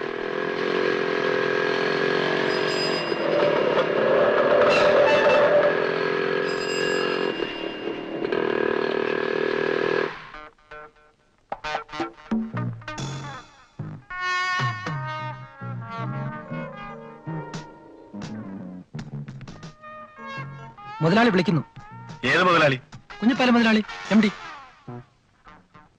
ചെല്ലെ പോയി കണ്ടിട്ട് വാ. മറ്റന്നാളത്തേക്ക് റൂംസ് എല്ലാം ബുക്ക് അല്ലേ? പാർട്ടിയുടെ കോൺഫറൻസ് പിന്നെ അത് നേരത്തെ പറഞ്ഞ കാര്യല്ലേ? ആ വാ. ഒരു മിനിറ്റ്. പാലോടർ അഞ്ഞൂറ്റി നിന്നല്ലേ ബുക്ക് ചെയ്ത് അത് പിന്നെ അങ്ങനെ സ്ഥിരം മുറിയല്ലേ? ആ അതിനടുത്ത് രണ്ടു മൂന്ന് മുറിവ് ഇട്ടേര്. ഇപ്പൊ ബുക്ക് ചെയ്തിട്ടുള്ളത് കൂടാതെ. വേറെ ആരൊക്കെയോ കൂടെ വരുന്നുണ്ടെന്ന് കേൾക്കുന്നത് ആ കാബറക്കാരോടൊക്കെ അന്ന് വേറെ ബുക്കിംഗ് ഒന്നും പോകണ്ടെന്ന് പറഞ്ഞേര്. ആ, വേറെ ഏതൊക്കെയാ റൂംസ് ഇരുന്നൂറ്റി ആറ് മുന്നൂറ്റി പതിനഞ്ച് മുന്നൂറ്റി മൂന്ന് പിന്നെ നാനൂറ്റി പത്ത് സാർ പാട്ട് തുടങ്ങാൻ സമയമായി. ആ കാണുന്ന റെസ്റ്റോറന്റിലേക്ക് അല്ലേ പാട്ടൊക്കെ നന്നാവുന്നുണ്ട് കേട്ടോ. പിന്നെ ഞാനൊരു കാര്യം പറയണമെന്ന് വിചാരിച്ചിരിക്കുകയായിരുന്നു. ഈ പാട്ടൊക്കെ കഴിഞ്ഞ് പാതിരാത്രി ബൈക്കിൽ കയറി അങ്ങോട്ടുള്ള യാത്രയും പിറ്റേ ദിവസം വൈകുന്നേരം ഇങ്ങോട്ടും. ഹോസ്റ്റലിലെ താമസം എന്ന് പറഞ്ഞേ എന്തിനാ വെറുതെ പൈസ വേസ്റ്റ് ആക്കുന്നത് ഇവിടെ തന്നെ കഴിഞ്ഞു? മറ്റുള്ള ആർട്ടിസ്റ്റുകളെല്ലാം ഇവിടെ തന്നെ താമസം. അതുകൊണ്ട് ഇന്ന് മുതൽ അല്ലെങ്കിൽ ഇവിടെ നാളെ വരുമ്പോ പെട്ടിയാട്ടിങ്ങി പോരെ. ബുദ്ധിമുട്ടൊന്നുമില്ലല്ലോ?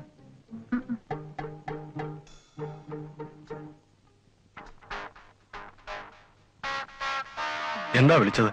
എന്നും പോയി വരണ്ട. ഇവിടെ തന്നെ താമസിച്ചാ മതിയെന്ന്. വനിത എന്ത് പറഞ്ഞു? ഒന്നും പറഞ്ഞില്ല. നമ്മൾ ഒരുമിച്ച് വന്നു പോകുന്നത് അയാൾക്ക് ഇഷ്ടപ്പെട്ട് കാണില്ലെന്ന് തോന്നുന്നു. ഞാൻ എന്ത് ചെയ്യണം? അയാൾ പറയുന്ന അങ്ങ് കേട്ടോ. ഞാനുണ്ടല്ലോ ഇവിടെ.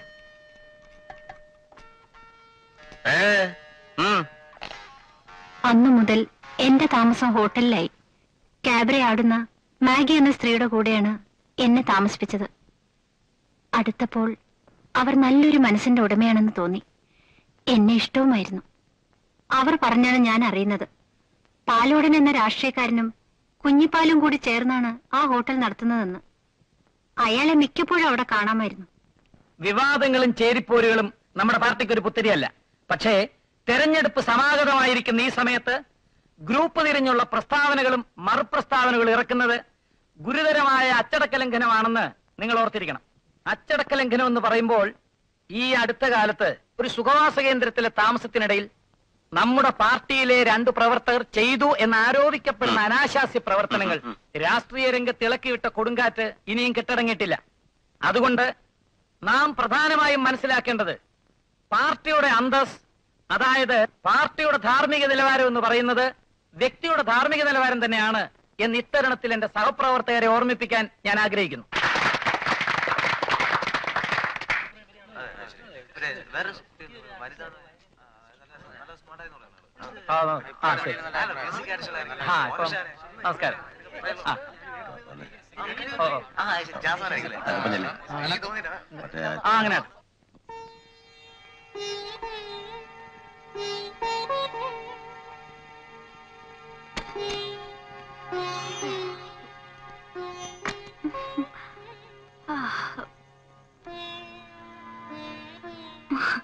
വനിത ഉറങ്ങില്ലായിരുന്നോ? ഇല്ല. കിടന്നിട്ട് ഉറക്കം വരുന്നില്ല. നിനക്കെന്താ ഒരു മൂഡൌട്ട് പോലെ? മനസ്സിനൊരു സുഖം തോന്നില്ല. പേടിയൊന്നും വേണ്ട വച്ചേ ധൈര്യമായിട്ടിരുന്നോ? ഇവന്മാരെയൊക്കെ കൈകാര്യം ചെയ്യാൻ പഠിക്കണം. ഇതൊക്കെ നമ്മൾ വേണ്ടാന്ന് വെച്ചാ വേണ്ട. അത്രേ ഉള്ളൂ. പോയി നോക്ക്. മാഡത്തിനെ വിളിക്കുന്നു. ആര്? പാലോടൻ സാറിന്റെ മുറിയിലേക്ക് അല്ലെന്നാ പറഞ്ഞത്. അഞ്ഞൂറ്റൊന്ന്. അങ്ങേര് മാത്രമേ ഉള്ളോ? അതോ അലവലാതെ സിൽബന്ധികളുണ്ടോ? തന്നെ ഉള്ളൂ. താൻ പൊയ്ക്കോ. ഞാൻ വന്നോളാം. ശരി. ആ നീ റൂം പൂട്ടിക്കിടന്നു ഞാൻ വരാൻ വെളുപ്പാവും. വന്നിട്ട് അടുപ്പിച്ച് മൂന്ന് ബെല്ലടിക്കും. അപ്പൊ തുറന്നാ മതി. വരട്ടെ.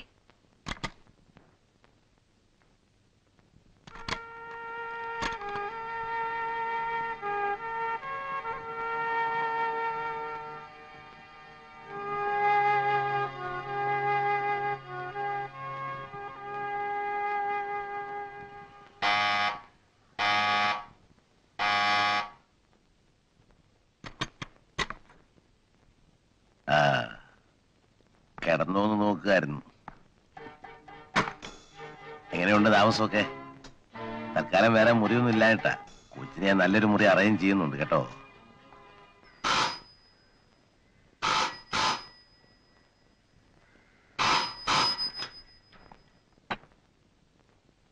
യെസ് ആരാ അതെ നാണിട്ടുണ്ട് തന്നെ നിങ്ങളാരാ ആ പ്രിയനോ എന്താണോ സുഖം തന്നെ അല്ലേ ആ കൊച്ചുറങ്ങാൻ പോവാ കൊടുക്കണ്ടല്ലോ. വേണോ? പ്രിയനാ വേണ്ടെന്ന്. ആ കിടന്നോ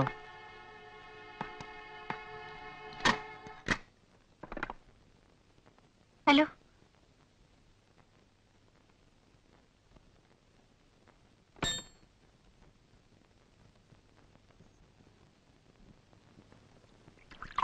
വൈകുന്നേരങ്ങളിൽ പാടുന്ന സമയത്ത് പ്രിയനെ കാണുന്നതായിരുന്നു ഒരേ ഒരു ആശ്വാസം വനിതയ്ക്ക് പ്രിയനോട് പ്രേമമായിരുന്നു? എനിക്കിഷ്ടമായിരുന്നു. വേണമെങ്കിൽ അതിനെ പ്രേമമെന്ന് വിളിക്കാം. കേൾക്കട്ടെ? മാഗിയും ഞാനും നല്ല സുഹൃത്തുക്കളായി കഴിഞ്ഞിരുന്നു. ഹോട്ടലിൽ താമസം തുടങ്ങി രണ്ടാഴ്ച കഴിഞ്ഞിരിക്കും. ഒരു ദിവസം മാഗി പറഞ്ഞു അവൾ ഹോട്ടൽ വിട്ടു പോവുകയാണെന്ന്. ഞങ്ങളുടെ ജീവിതമൊക്കെ ഇങ്ങനെയാണ് കുട്ടി. ഇന്നൊരു ഹോട്ടൽ നാളെ മറ്റൊരു ഹോട്ടൽ അത് കഴിഞ്ഞാൽ വേറൊരു ഹോട്ടൽ. ആ പാടുന്ന ആളങ്ങോട്ട് വരാൻ പറഞ്ഞു. റിഹേഴ്സലാ. റിഹേഴ്സലോ?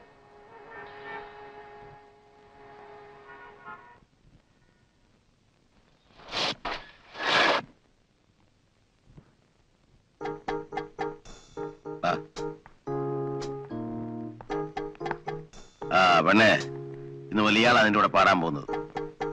പ്രിയൻ എന്ത് പറ്റി? ഒന്നും പറ്റിയില്ല. ഞാൻ അവനെ കട്ട് ചെയ്തു. എന്താ പ്രിയൻ ഉണ്ടെങ്കിലേ പാട്ട് വരത്തുള്ളോ? അങ്ങനെയാണോ തങ്കപ്പാ? ഇല്ലാതെ വരും നോക്കാം. എന്നാ റിജേഷ് തുടങ്ങിക്കൂ എന്താണോ തന്റെ പേരെന്ന് പറഞ്ഞ്? വാസൻ. ആ നന്നായിട്ടൊക്കെ നിന്നോണം. പാട്ട് മാത്രം പാടിയാ മതി. പ്രേമോ ശൃംഗാരൊന്നും വേണ്ട കേട്ടോ? ശരി. ആ. പ്രിയൻ പോയി കഴിഞ്ഞതിന് ശേഷം എനിക്ക് പേടിയായി തുടങ്ങി. എങ്ങനെയെങ്കിലും ഹോട്ടൽ വിട്ട് പോകണമെന്നായിരുന്നു എപ്പോഴും എന്റെ ചിന്ത. പക്ഷേ പുറത്തു പോകാൻ എനിക്ക് അനുവാദം ഉണ്ടായിരുന്നില്ല. ആരെങ്കിലും എപ്പോഴും മുറിക്ക് മുമ്പിൽ ചുറ്റിപ്പറ്റി നിൽക്കും. എനിക്ക് ചുറ്റും ഭീതിയുടെ ഒരു വലയെ സൃഷ്ടിച്ചതുപോലെ തമ്പി സാർ? തമ്പി സാർ? സാറേ? തമ്പി സാറേ? തമ്പി സാറേ? സാർ? ഷോ എന്റെ പൊന്ന് സാറേ ഇതൊക്കെ പൊതിഞ്ഞേട്ടി കൊണ്ടുവരാൻ ഞാൻ എന്ത് പാടുപെട്ടെന്നോ? ടിഫിൻകാർ രണ്ട് ഇവിടെപ്പെട്ടു പോയില്ലേ? പതിവ് കൊണ്ടുവന്നിട്ടുണ്ട്. ഒഴിക്കട്ടെ. വേണ്ട ഇന്ന് ഞാൻ കഴിക്കുന്നില്ല. രാത്രി കുറച്ച് എഴുതണം. അപ്പൊ പിന്നെ എന്റെ കോട്ടായോ? താനും കഴിക്കണ്ട. എന്നാ ഊണ് ഉൾപ്പെട്ടെ വേണ്ട ഞാൻ എടുത്ത് കഴിച്ചോളാം ഇപ്രാവശ്യം വന്നിട്ട് സാറിന് എന്തോ എന്നോട് വിരോധം പോലെ. ഒരു വിരോധമില്ല ഇല്ല വിശ്വംബര അതൊക്കെ മനുഷ്യരുടെ ഓരോ സമയത്ത് ഓരോ മൂടുകളല്ലേ ശരി. ഞാൻ നിന്നിട്ട് സാറിന്റെ മൂഡിന് തടസ്സമാകുന്നെങ്കിൽ വേണ്ട. ഞാൻ ഇങ്ങനെ അങ്ങ് പോയേക്കാം. ആ. ആ ടിഫിൻ കാര്യം എത്തും എന്നാ ഫ്ലാസ്ക്. ഉം. അപ്പൊ സാറേ ഏ? ആ, ഒന്നുമില്ല.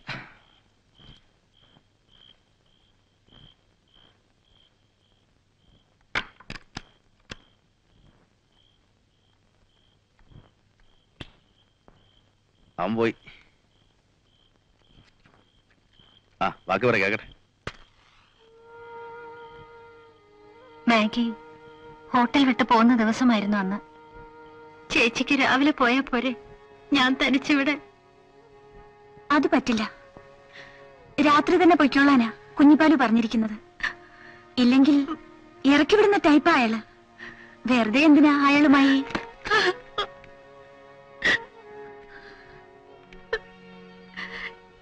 ഞാൻ എന്ത് ചെയ്യും ചേച്ചി? എനിക്കിവിടെ ഒറ്റയ്ക്ക് കഴിയാൻ വയ്യ. എനിക്കറിയാം നിന്റെ മനസ്സ്.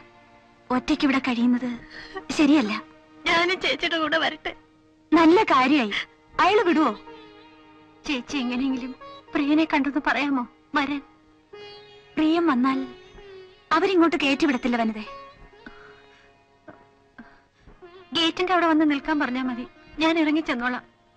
അതത്ര എളുപ്പമാണോ? പ്രിയന്റെ അഡ്രസ് ഉണ്ടോ നിന്റെ കയ്യിൽ? ആ.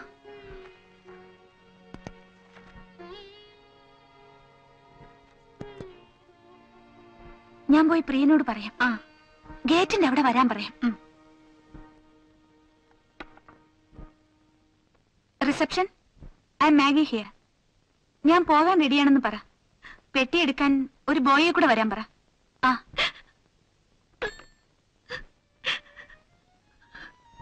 നീ ഒരു പാവം കുട്ടിയാ. നിനക്ക് പറ്റിയതല്ല ഇവിടുത്തെ പണി. എന്തു വന്നാലും നീ സ്വയം രക്ഷിച്ചു. നശിക്കരുത്. ആയിരത്തി അഞ്ഞൂറും വണ്ടി ചാർജും ഉണ്ട്. ഇതിലൊരു ഒപ്പിട്ടരെ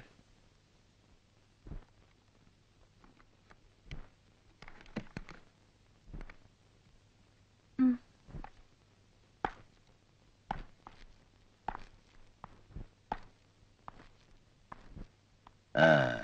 പൈസ ഒക്കെ വാങ്ങിയില്ലേ? അടുത്ത മാസം പതിനഞ്ചാം തീയതി വരുമല്ലോ. പുതിയ കോൺട്രാക്ട് അന്നേരം ഒപ്പിടേ.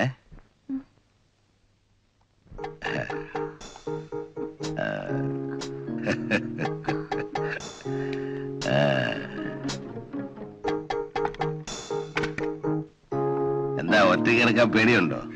ഏ?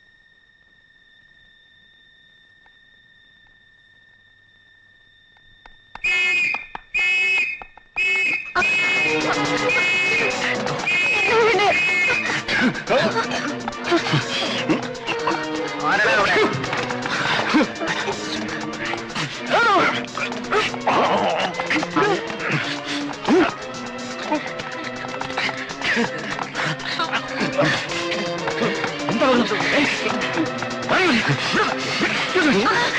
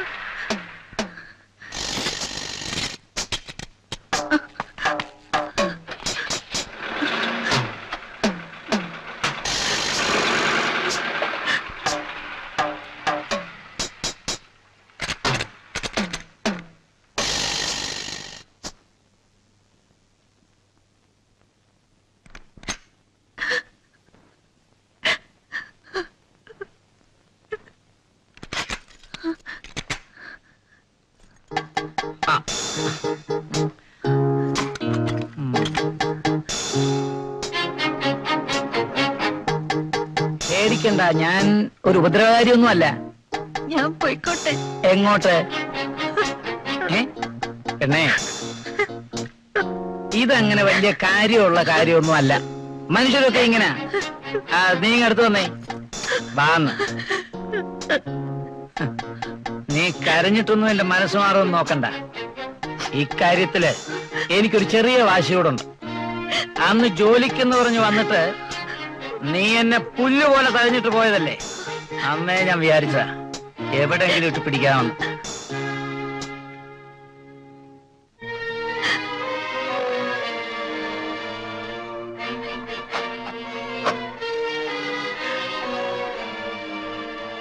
ദേ മതി കേട്ടോ. എന്റെ വിധം മാറും. വാടിയോടെ. ഇവിടെ വരാൻ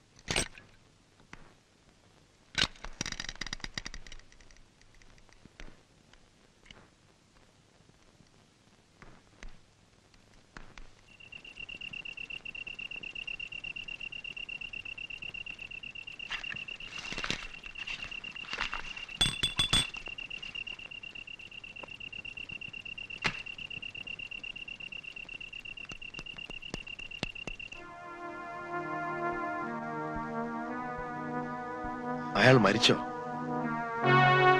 മരിച്ചതുപോലെ എനിക്ക് തോന്നിയത് ചോര നല്ലതുപോലെ പുറത്തു വരുന്നുണ്ടായിരുന്നു.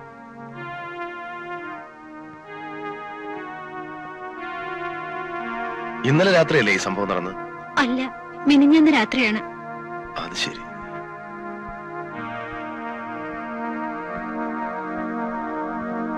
പിന്നെ ഇന്നലെ രാത്രി നീ എങ്ങനെ ഇവിടെ ഓടിയെത്തി? ഈ സംഭവം നടക്കുമ്പോൾ രാത്രി രണ്ടു മണിയെങ്കിലും ആയിരിക്കും ഹോട്ടലിൽ നിന്ന് ഇറങ്ങിയപ്പോൾ എങ്ങോട്ട് പോകണമെന്ന് എനിക്ക് നിശ്ചയമില്ലായിരുന്നു. പ്രിയനെ പോലീസ് കൊണ്ടുപോകുന്നത് ഞാൻ കണ്ടത്. മോഹൻ എവിടെയാണെന്ന് അറിയില്ലായിരുന്നു. നേരെ പോയത് ഹോസ്റ്റലിലേക്കാ. അവിടെ ഗീത ഉണ്ടാകുമല്ലോ സഹായത്തിനെന്ന് കരുതി. സംഭവം അവർ അറിഞ്ഞിരിക്കുന്നെന്ന് എനിക്ക് മനസ്സിലായി. എന്നെ കാത്താണ് നിൽക്കുന്നതെന്നും മനസ്സിലായി. ദൂരെ എവിടെയെങ്കിലും പോയി കളയാമെന്ന് വിചാരിച്ചാണ് ബസ് സ്റ്റാൻഡിൽ എത്തിയത്. അവിടെ എത്തിയപ്പോഴാണ് കയ്യിൽ പണമൊന്നും ഇല്ലല്ലോ എന്നോർത്തത്.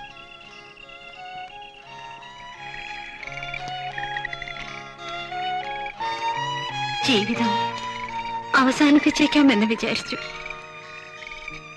വെളുക്കുന്നതുവരെ പാളത്തിലൂടെ നടന്നു. ഒരു ട്രെയിനും വന്നില്ല. നടന്ന് നടന്ന് ഇതിനടുത്തുള്ള പട്ടണത്തിലെത്തി.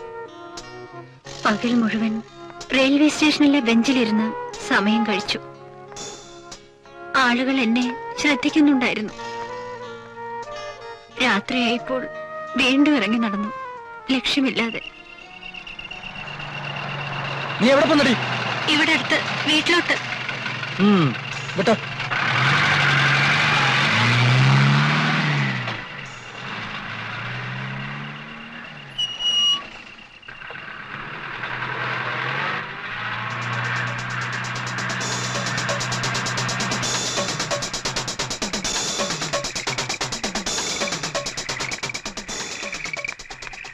എന്നെ തിരിച്ചറിഞ്ഞിട്ട് വന്നതാണോ എന്നെനിക്ക് തോന്നി.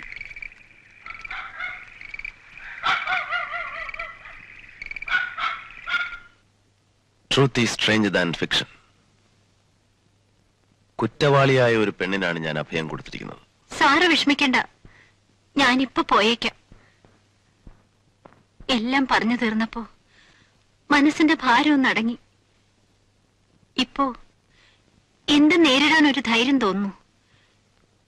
ഞാൻ നേരെ പോലീസ് സ്റ്റേഷനിലേക്ക് തന്നെ പോയേക്കാം. വരട്ടെ. അയാൾ ചത്തോ ഇല്ലയോ എന്നറിയട്ടെ. വേണ്ട സർ. ഞാൻ ഇനി സാറിന് ഭാരമാകുന്നില്ല വനിതേ നിന്റെ കഥ കേട്ട് കഴിഞ്ഞപ്പോ എനിക്ക് എന്റെ കഥാപാത്രങ്ങളോട് തോന്നുന്ന പോലെ ഒരു അടുപ്പം നിന്നോട് തോന്നുന്നു. എനിക്ക് നിന്നെ സഹായിക്കണമെന്നുണ്ട്. നിന്റെ കഥ തീരുന്നില്ലല്ലോ. ഈ കഥയിൽ എനിക്കൊരു കഥാപാത്രമായാൽ കൊള്ളാമെന്നൊരാഗ്രഹം നിന്നെ രക്ഷിക്കാമെന്ന് ഞാനും നോക്കട്ടെ. നീ വേണ്ടെന്ന് പറയരുത്. നാളെ ഞാൻ ആ ഹോട്ടൽ വരെ ഒന്ന് പോവാം. പാലുടൻ ചത്തിട്ടുണ്ടോ എന്ന് അന്വേഷിക്കാം. പ്രിയനെ അന്വേഷിക്കാം. കണ്ടാ വിവരം പറയാം.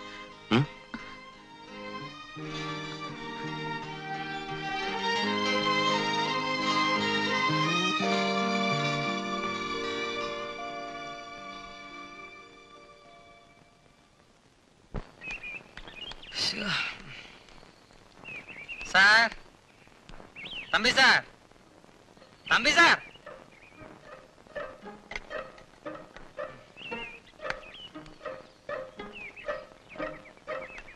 സാറേ തമ്പി സാറേ.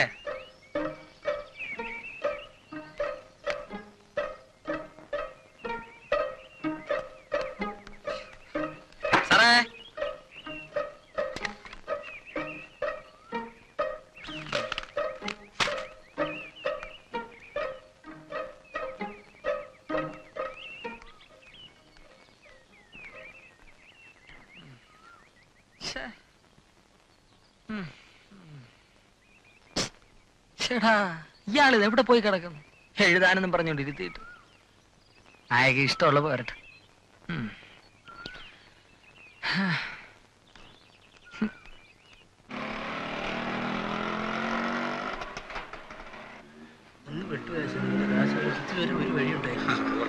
ഞാനും അങ്ങനെയൊക്കെ ഇച്ചിരി വെള്ളത്തിൽ കിടക്കുക ഞാനിവിടെ ഒരാഴ്ചയായിട്ട് വന്നു പോയിക്കൊണ്ടിരിക്കുക മാമോളെ? ഞാനേതായാലും കൂടുതൽ എന്റെ ഇവിടെ എടുക്കാനുള്ള പൈസ എന്തായാലും എന്റെ വേണ്ട എപ്പോഴെങ്കിലും ഇവിടെ ഇറങ്ങുമല്ലോ. ഞാൻ നോക്കിക്കോളാം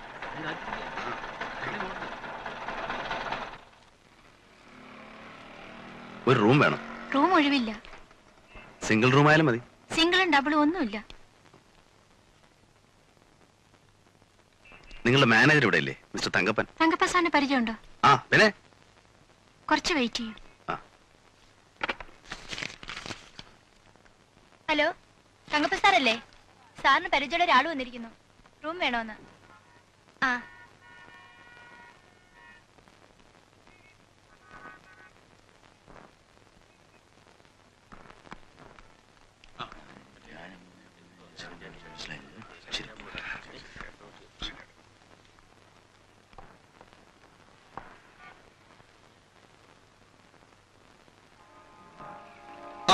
എന്ത് പണിയാശാനായിരുന്നു നമുക്കിവിടെ റൂമില്ലെന്ന്. ആശാനെ പോലുള്ള ഒരു വിശ്വസിച്ചിട്ടല്ലേ നമ്മളിവിടെ വരുന്നത്? റൂം കൊടുക്ക്.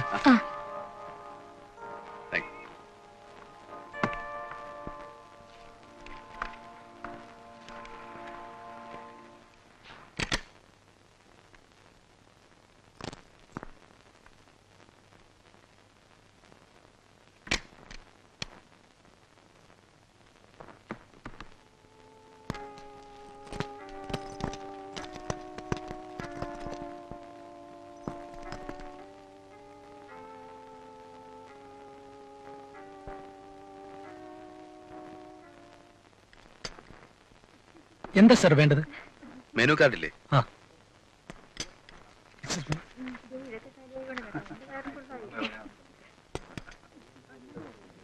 ഇപ്പൊ ഇവിടെ പാട്ടും ഡാൻസ് ഒന്നുമില്ലേ? അതൊക്കെ രാത്രിയിൽ. സർ ഓർഡർ ആ. എനിക്ക് ഒരു സാൻഡ്വിച്ചും. എപ്പോഴാ പാട്ട് തുടങ്ങുന്നേ? രണ്ടു മൂന്ന് ദിവസമായിട്ട് പാട്ടുകാരില്ല. അവരെല്ലാം ലീവില്ല പിന്നെ ക്യാബറ മാത്രമേ ഉള്ളൂ. അത് രാത്രി എട്ട് മണിക്ക് തുടങ്ങും. ഇവിടെ നന്നായിട്ട് പാടുന്ന ഒരു പെൺകുട്ടി ഉണ്ടായിരുന്നല്ലോ. വനിത എന്നോ മറ്റാണ് പേര്. ആ കുട്ടി ഇപ്പൊ ഇവിടെ ഇല്ലേ? എനിക്കറിയില്ല സാർ. സാറിന് കഴിക്കാൻ എന്താ വേണ്ടത്? എനിക്കൊരു വെജിറ്റബിൾ സാൻഡ്വിച്ചും ഒരു ചായയും. ശരി.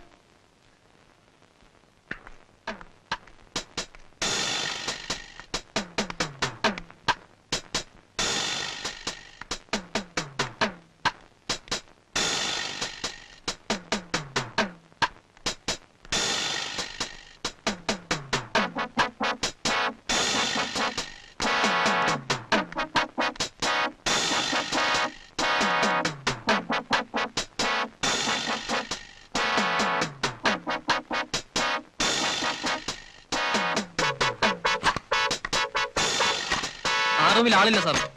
ഏ ഇല്ലേ? എന്റെ ഒരു ഫ്രണ്ട് ഇവിടെ താമസിച്ചിരുന്നു?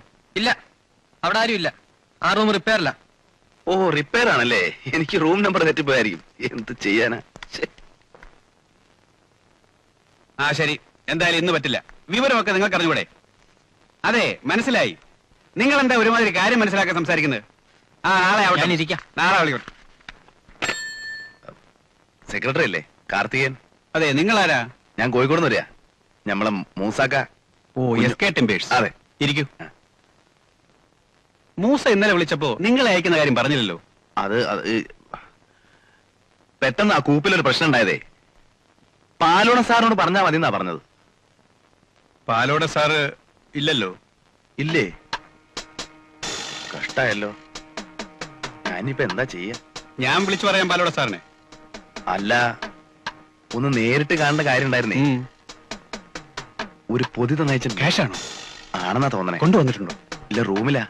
നിങ്ങൾ എവിടെയാ താമസിക്കുന്നത് ഞാനോ? Hotel Blue Moon. ബ്ലൂ മൂണിലോ? ആ. ഒരു രണ്ട് ദിവസം അവിടെ തന്നെ താമസിക്കുക പാലോടെ സാറ് നാളെയോ മറ്റന്നാളോ തിരിച്ചു വരും. വരുമോ വരും. ഏ? പ്രിയദർശൻ എന്നൊരാൾ ഇവിടെ താമസിക്കുന്നില്ലേ? പാട്ടൊക്കെ പാടുന്ന ഒരാൾ. അയാൾ ഇന്നലെ ഇവിടെ നിന്ന് വെക്കേറ്റ് ചെയ്ത് പോയി. എങ്ങോട്ട്? അതറിയില്ല. അയാളൊന്നും പറഞ്ഞില്ല. തലം വിട്ട് പോകാണെന്ന് പറഞ്ഞോ? ഇല്ല. അങ്ങനെയൊന്നും പറഞ്ഞില്ല.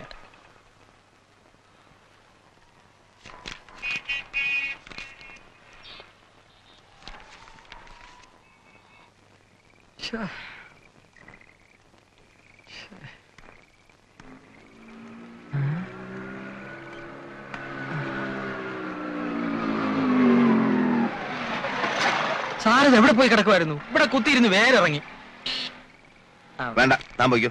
അയ്യോ എന്നെ പറഞ്ഞ അയക്കല്ലേ ഞാൻ ചെകുത്താന്റെയും കടലിന്റെ ഇടയ്ക്കായി പോയി ഇവിടെ വന്ന സാറിനെ അങ്ങോട്ട് ഓടിക്കും. അവിടെ ചെന്നാ പിള്ള സാറിനെ ഇങ്ങോട്ട് ഓടിക്കും. നേരം വെളുത്തിട്ട് നാലാമത്തെ പ്രാവശ്യം. സാർ എവിടെ പോയി?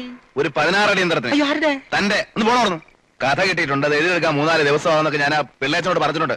താൻ പോയിക്കോ. അപ്പൊ സാറിന്റെ ഭക്ഷണോ? ഞാൻ കൊണ്ടുവന്നിട്ടുണ്ട്.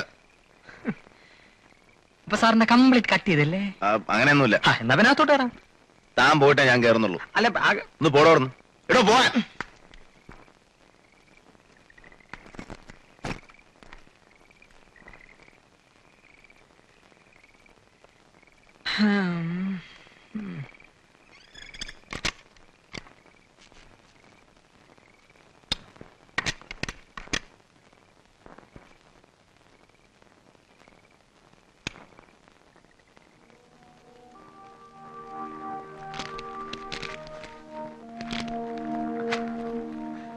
ആ മനുഷ്യൻ ചത്തോ? എനിക്ക് തോന്നുന്നില്ല. ചത്തിരുന്നെങ്കിൽ ഇതാകുമായിരുന്നില്ല സ്ഥിതി. ഹോട്ടലിൽ അവരവിടെ എന്തൊക്കെയോ ഒളിച്ചുകളികൾ നടത്തുന്ന പോലെ തോന്നി. പ്രിയനെ കണ്ടോ? ഇല്ല. പ്രിയൻ താമസിച്ചിരുന്ന ലോഡ്ജ് വെക്കേറ്റ് ചെയ്തിരിക്കുന്നു. എങ്ങോട്ട് പോയെന്ന് പറഞ്ഞില്ലേ? ഇല്ല. ആരോടൊന്നും പറഞ്ഞിട്ടില്ല.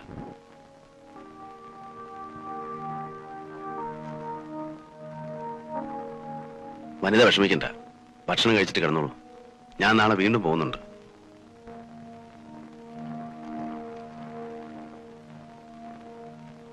അവന്റെ മുറി ഞാൻ തുറന്നു നോക്കി. ഒരു പെട്ടി മാത്രമേ ഉള്ളൂ. പെട്ടി തുറന്നു നോക്കിയില്ലേ? നോക്കി. ഒരു പാന്റ് ഷർട്ടും കുറച്ച് കടലാസും ഉണ്ട്. കോഴിക്കോട്ടെ എന്ന് മൂസാക്ക പറഞ്ഞു എന്ന് പറഞ്ഞാ അവൻ ഓഫീസിൽ വന്നത്. ഞാൻ കോഴിക്കോട്ടേക്ക് വിളിച്ചു ചോദിച്ചപ്പോൾ മൂസാക്കയ്ക്ക് അങ്ങനെ ആളെ അറിയേയില്ല. അവനെന്തോ അറിഞ്ഞുകൊണ്ട് വന്നിരിക്കുന്നവനാ. ബോയ്സിനോടൊക്കെ പ്രിയനെയും വനിതയും തിരക്കുന്നു. ആ അഞ്ഞൂറ്റും തള്ളി തുറക്കാൻ നോക്കുന്നു. പാർട്ടി ഓഫീസിൽ നിന്ന് പാലോളം സാറുണ്ടോ കരിങ്കുടി ഉണ്ടോ എന്നൊക്കെ ചോദിക്കുന്നു. താൻ പറഞ്ഞു നേരാ. അവൻ എന്തോ അറിഞ്ഞുകൊണ്ട് വന്നിരിക്കുക ഏതായാലും ഇനി അവൻ വന്നാ വിടരുത്. പറഞ്ഞ കേട്ടല്ലോ. അല്ല സാറേ ഇനി വല്ല പോലീസിൽ നിന്നും അല്ല കേന്ദ്രം. നമ്മുടെ ഹോട്ടലിലോ? പോടോ. ഗീതല്ലേ നിങ്ങൾ ആരാ പ്രിയന്റെ ആ നിങ്ങൾ ആരാ ഞാൻ പ്രിയന്റെ ഒരു സുഹൃത്താ. ഒന്ന് കാണാൻ. പ്രിയൻ ഇവിടെയല്ലല്ലോ താമസിക്കുന്നത്. അതറിയാം. ഇപ്പൊ എവിടാന്ന് അറിയാമോ എന്ന് ചോദിക്കാൻ വന്നതാ. എനിക്കറിഞ്ഞൂടാ. ഒരു നിമിഷം. ഗീത വനിതയുടെ ഫ്രണ്ട് അല്ലേ? വനിത അറിയോ? അറിയാം. അവൾ എവിടെയുണ്ട് എന്റെ വീട്ടിലുണ്ട്. നിങ്ങൾ അവളുടെ ആരാ? ഒരു ബന്ധുവാ. അവളോട് സൂക്ഷിച്ചോളാൻ പറയണം. ആ ഹോട്ടലിൽ നിന്ന് രണ്ടു മൂന്ന് തവണ ഇവിടെ ആൾക്കാർ തിരക്കി വന്നു. വനിതയുണ്ടോ എന്ന് ചോദിച്ച്. പ്രിയനെ അവർ പോലീസിനെ കൊണ്ട് പിടിപ്പിച്ചെന്നാ പറയുന്നത്. വിട്ടോ ഇല്ലയോ എന്ന് എനിക്ക് അറിഞ്ഞൂടാ. താമസിക്കുന്ന സ്ഥലത്ത് അന്വേഷിച്ചാൽ അറിയാം. എവിടാ താമസിക്കുന്നത്? റെയിൽവേ സ്റ്റേഷൻ അടുത്തുള്ള ജാസ് ഹോട്ടലിൽ വരട്ടെ.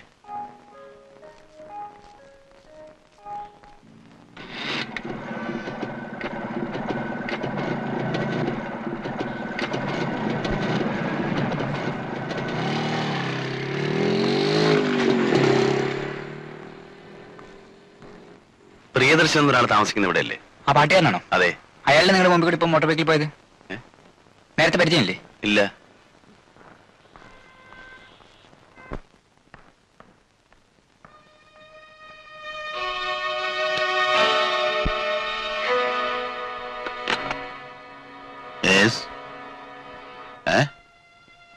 അവനോ?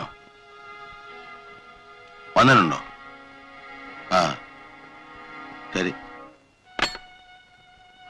അവൻ പിന്നെ വന്നിട്ടുണ്ടെന്ന് താൻ ആ ബോയ്സിനോടൊക്കെ ഒന്ന് പറഞ്ഞേരെ അവന്റെ മേലൊരു കണ്ണു വേണമെന്ന്? വനിത ഏത് റൂമിലാ എനിക്ക് അവിടെ നിന്ന് കാണണമല്ലോ വനിത ഇവിടെ ഇല്ല അത് കള്ളമാണല്ലോ റൂമിലെ എത്ര മര്യാദ പറയടി അല്ലെങ്കിൽ എന്റെ വായിരിക്കുന്നവരും കേൾക്കും ഇല്ലെന്ന് പറഞ്ഞില്ലേ ഇതിന് ഓണസ് ഉണ്ടല്ലോ കുഞ്ഞിപ്പാലു അവരുടെ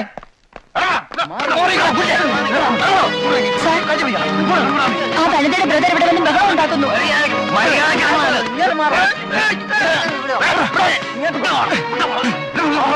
എന്താ ഇവിടെ? ഹോട്ടൽ നടത്തുന്നു ഇവിടെ കിടന്ന് ബഹളം വെക്കരുത്. ആരാ അവന്മാരെ ആ പെണ്ണിന്റെ ആങ്ങളെ. എനിക്ക് എന്റെ പെങ്ങളെ കാണാം അവളെ നിന്റെ പെങ്ങളെ ഇവിടെ ഇല്ല. അവൾ പോയി. എങ്ങോട്ടെ? അതെനിക്കറിയില്ല. വല്ലവനോട് ഇറങ്ങി പോയി കാണും. പോകാൻ പറഞ്ഞുണ്ടല്ലോ ഇറങ്ങണ പുറത്ത് പിടിച്ചിറക്കണോ അവനെ?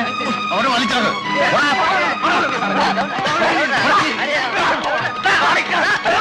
ഞാനാ മോഹൻ ഏയ്, ഇറങ്ങി വാ, ഞാനാ മോഹൻ അല്ലേ, പോയി. അല്ലേ, ഞാനാ മോഹൻ ഇറങ്ങി. എന്താ? മേലെ. മേലാലിനകത്ത് കണ്ടേക്കണത് നിന്നെയൊക്കെ. അല്ല.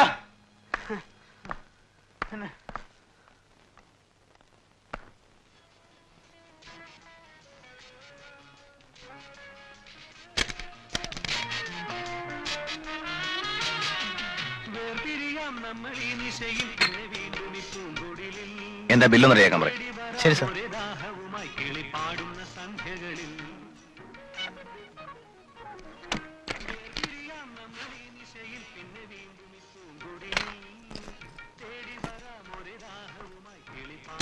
സന്ധ്യകളിൽ നീലക്കുറിഞ്ഞികൾ പൂത്തു പുലർവേളകൾ പൂവിറുത്തു. ആടിത്തളരത്ത പൂവിൻ കാറിലാരോ പാടുന്നു.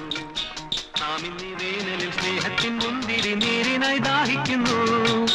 നീലക്കുറിഞ്ഞികൾ പൂത്തു പുലർവേളകൾ പൂവിറുത്തു.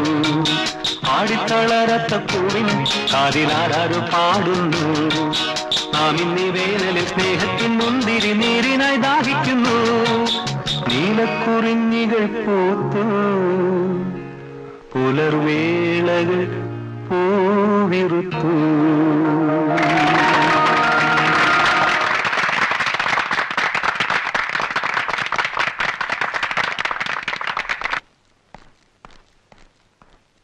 പാട്ട് വളരെ നന്നായിരുന്നു. താങ്ക് യു പ്രിയദർശൻ എന്നല്ലേ പേര്?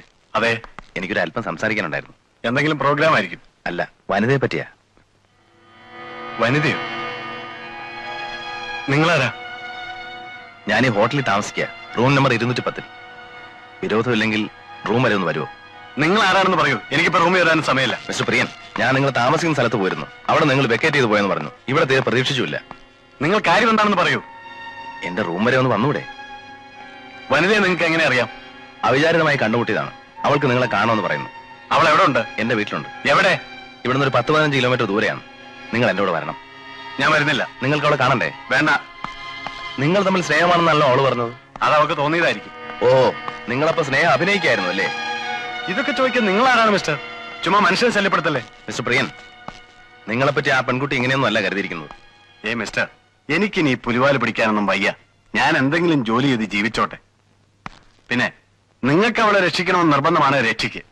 ഞാൻ പോട്ടെ.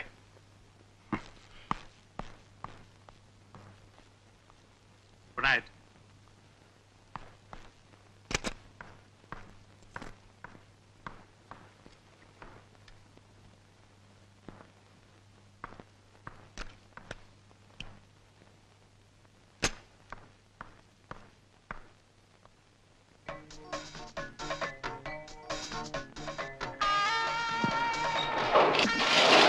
ആ സാറിന് ഞാൻ എവിടെയെല്ലാം തിരക്കിയായിരുന്നു? ബില്ലുമായി റൂമിൽ വന്നപ്പോ റൂം പൂട്ടി കിടക്കുന്നു.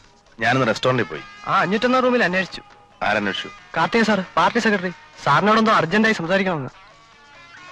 എനിക്ക് പോവാ. മോളല്ലേ അതെ.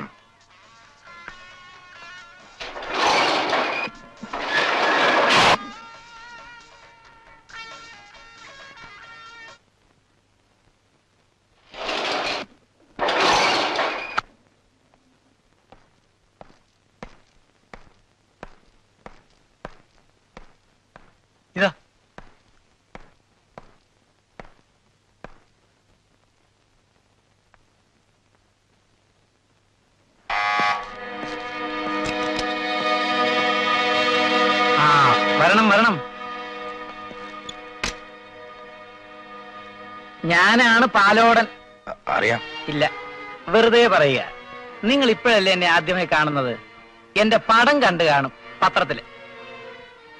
കോഴിക്കോട്ടെ മൂസാഹാജി എത്ര പണം തന്നിട്ടുണ്ട്? അത് ഞാൻ ഓ കള്ളം പറഞ്ഞു അല്ലേ?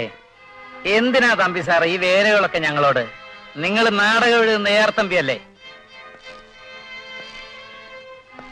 ആ ആ പെണ്ണെവിടെ?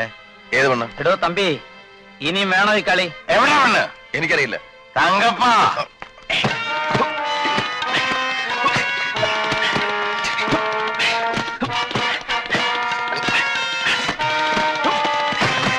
വേണ്ട.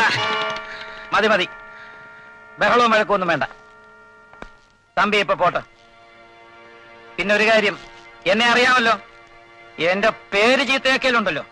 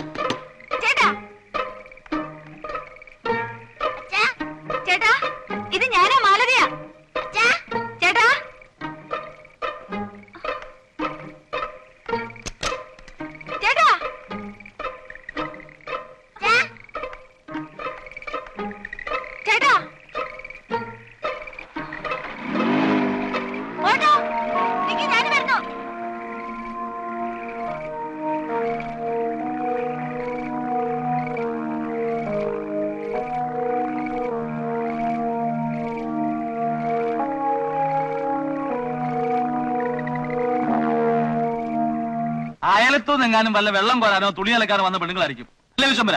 ആ, അല്ലാതെ പിന്നെ പുറത്തുനിന്ന് ആര് വരാനാ? ആ. ആ. ഞാൻ അക്കരെയുള്ള മീനാക്ഷിയോട് പറഞ്ഞിരുന്നു. ഇടയ്ക്കിടയ്ക്ക് സാറിനെ വന്ന് നോക്കിക്കോണേന്ന് മീനാക്ഷി ആയിരിക്കും. അത് മീനാക്ഷി കാമാക്ഷിയൊന്നും അല്ല എന്നാ പിന്നെ വാസന്തി ആയിരിക്കും. ഹീറോയിൻ. ആ, മൂപ്പരെ കണ്ട റോളിന്റെ കാര്യം സംസാരിക്കണമെന്ന് ഞാൻ പറഞ്ഞിരുന്നു. അതാ. അല്ല വാസന്തി എനിക്കറിയാം. ഇത് നിങ്ങളെല്ലാം കൂടെ ഒത്തുകൊണ്ടുള്ള കളിയാ. അങ്ങനെ എവിടെ? എനിക്കിപ്പോ കാണണം. നിങ്ങളല്ലേ വിളിച്ചോണ്ട് വന്നത്? അവിടെ തന്നെ കാണും. സാറിന് മൂട് കിട്ടാൻ വേണ്ടി ചിലപ്പോ ആറ്റിന്റെ അരയെ ചെന്നിരിക്കും. അവിടെ എങ്ങുമില്ല ഞാൻ ഇന്ന് വരുമെന്ന് പറഞ്ഞിരുന്നതാ.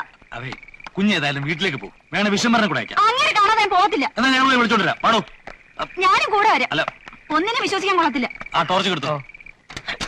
ടോർച്ച്.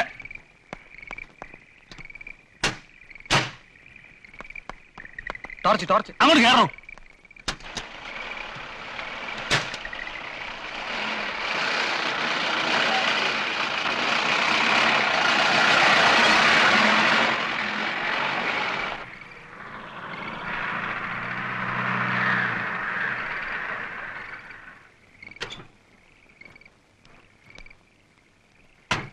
വിളിച്ചൊന്നും ഇല്ലല്ലോ കുഞ്ഞോട് നിൽക്ക് വാ. തമ്പി. തമ്പിയേ. തമ്പി. ആ അപ്പറേ നോക്ക. തമ്പി. തമ്പി സാറേ. തമ്പി. തമ്പി. തമ്പി ആ. ഡോ. തമ്പി ഇത് ഞാനാ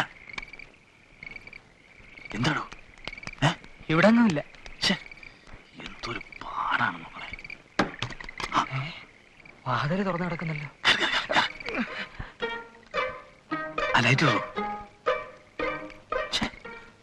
അയാൾക്ക് ഇത് വല്ല കാര്യമുണ്ടോ? ഡോ, ഏതാടോ പെണ്ണ്? താൻ വല്ല അഡ്ജസ്റ്റ് അകത്ത് കയറ്റിയോ? അയ്യോ പിള്ളേച്ചനാണ് പ്രസ്ഥാനത്തിനാണ് ഇല്ലേ? കൊല്ല.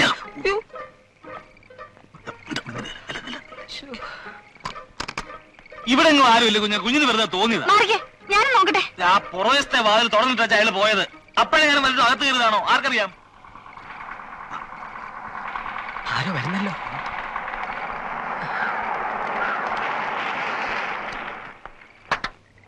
ആ തമ്പിയാണല്ലോ. എന്റെ പൊന്നു തമ്പി താൻ പേടിപ്പിച്ചു കളഞ്ഞത്. താൻ എവിടെ പോയതാ? ഏ? എവിടെങ്കിലും പോവാണെന്ന് പറഞ്ഞിട്ട് പോകണ്ടേ?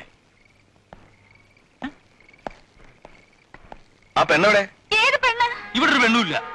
അവൾ എവിടെ പോയി? അവൾ ആരാ എന്നെയും കൊച്ചിനെയും വന്നിട്ട് നിങ്ങൾ എവിടെ വേണമെങ്കിലും പോയിക്കോ. ആരാ അവൾ? അവൾ എവിടെ വിളിച്ച ഏതവൾ? ഇവിടെ ഒരു പെണ്ണുമില്ല പടക്കോഴിയില്ല. ഉറപ്പാണോ വിളിച്ച പിന്നെ അല്ലാണ്ട് ഈ കൊച്ചു എന്ന് പറഞ്ഞു ഇവിടെ ഒരു പെണ്ണുണ്ടെന്ന് ഞാനും ഇയാളും കൂടെ ഇവിടെ മുഴുവൻ നോക്കി. ഒരുത്തരുമില്ല. അല്ലടോ? അതെ. ആ. അതെ ഇയാൾ എവിടെ പോവാ? മാലതി നീ വീട്ടിൽ പോയിക്കോ. ഞാനങ്ങ് വന്നേക്കാം. തമ്പി തമ്പി അതൊക്കെ വന്നിട്ട് പറയാം. വണ്ടി വിടണം. ഓ പിള്ളച്ച അതെ. പഴഞ്ചേത് നാടകം ഉദ്ഘാടനം വെച്ചിരിക്കുക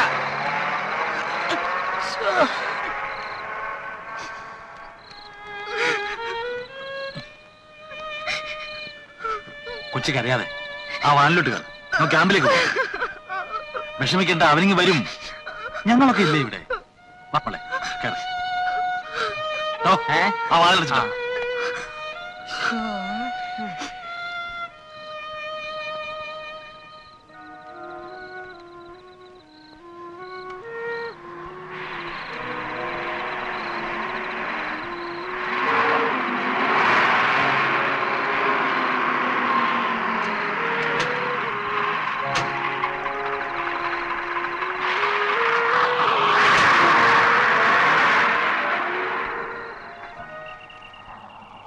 ഇതാ ഗിരിയ തിയേറ്റേഴ്സ് നിർത്ത് നിർത്ത് അകത്തേ നിർത്ത്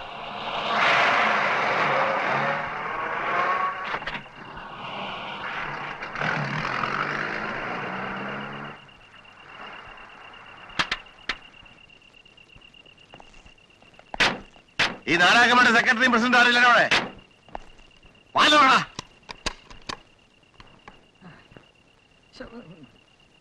ആരാടാ സുമാരമുള്ള അകത്തുണ്ട്. അത്യാവശ്യമാണേ വിളിക്കാം. ആ വിളിക്ക. പിള്ള സാറേ ഒന്നിങ്ങോട്ട് ഇറങ്ങി വന്നാട്ടെ. ബുക്കിംഗ് പാർട്ടീസ് അല്ല. എന്താടോ? എന്താ? അവനവിടെ? ആ തമ്പി തന്നെ നാടകം വിളിക്ക. തമ്പി ഇവിടെ അല്ലല്ലോ താമസം. ആരാ? അവനോടൊരു പെണ്ണുണ്ടായിരുന്നല്ലോ. അവളവിടെ? അങ്ങേരുടെ കൂടെ ഒരു പെണ്ണേ ഉള്ളോ ഞാനാ. നിങ്ങളാരാ?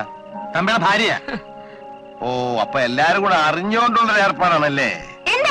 എണ്ണ ഏർപ്പാട്. ഏത് പെണ്ണാണ് നിങ്ങൾ പറയുന്നത്? ഇത് അന്തസ്സായിട്ട് നടത്തുന്ന ഒരു നാടക ക്യാമ്പാ. സംശയം കയറി നോക്കിയോ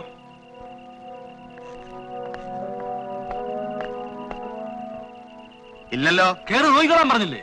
എന്നാ ആ തമ്പിടോടെ ഞങ്ങളുടെ ഒരു പെണ്ണുണ്ട്. വലിച്ചോണ്ട് ഇങ്ങോട്ട് കയറി വന്നാൽ ഇതിനകത്ത് കയറ്റിയേക്കരുത്. എല്ലാരും കൊടുക്കും. പാടോ.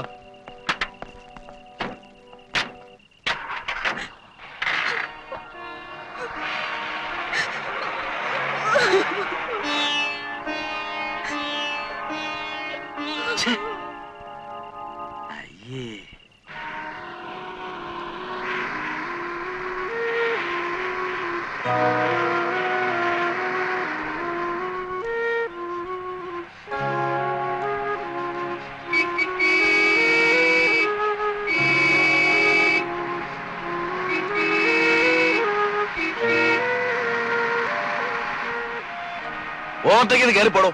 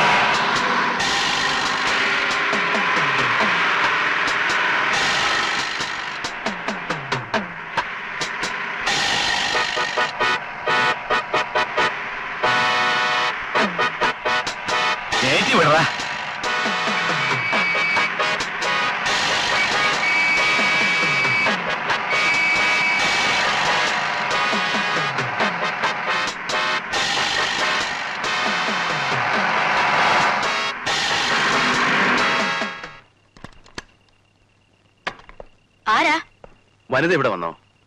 ഇവിടെ ആരും വന്നില്ല. ആ അലവലാതി പെണ്ണിനെ ഇവിടെ താമസിപ്പിച്ചതാ എന്റെ കുറ്റം. എത്ര പേര് അവളെ തേടി വരുന്നത്? നിങ്ങൾ പോണം. ആ കുട്ടി അപകടത്തിലാണ്. ഇവിടെ വന്നാൽ നിങ്ങൾ അവൾക്ക് അഭയം കൊടുക്കണം. ഇല്ല അവളെ ഇവിടെ കയറ്റില്ല. ആ കുട്ടിയുടെ ഒരു കൂട്ടുകാരുണ്ടായിരുന്നു ഗീത. അതിനൊന്നും കാണാൻ പറ്റുമോ? സാധ്യമല്ല. ഏഴു മണി കഴിഞ്ഞാൽ ഇവിടെ വിസിറ്റേഷൻ അനുവദിക്കില്ല. നിങ്ങൾ പോകണം.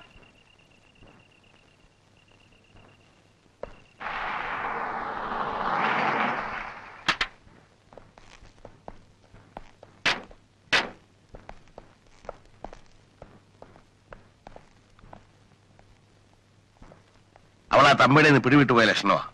ഇവിടെ എവിടെയോ കറങ്ങുന്നുണ്ടാവണം. ആ പ്രിയ എന്ന് വിളിക്ക്. എനിക്ക് സംസാരിക്കണം.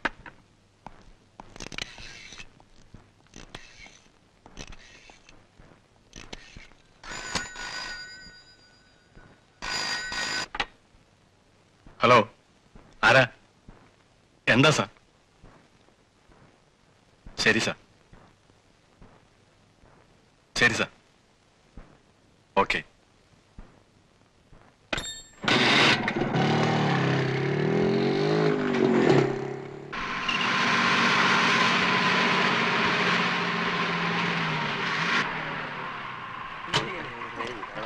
പുതിയെടുത്തോ ഇറങ്ങി ഇറങ്ങിക്കോ ഇറങ്ങിക്കോ.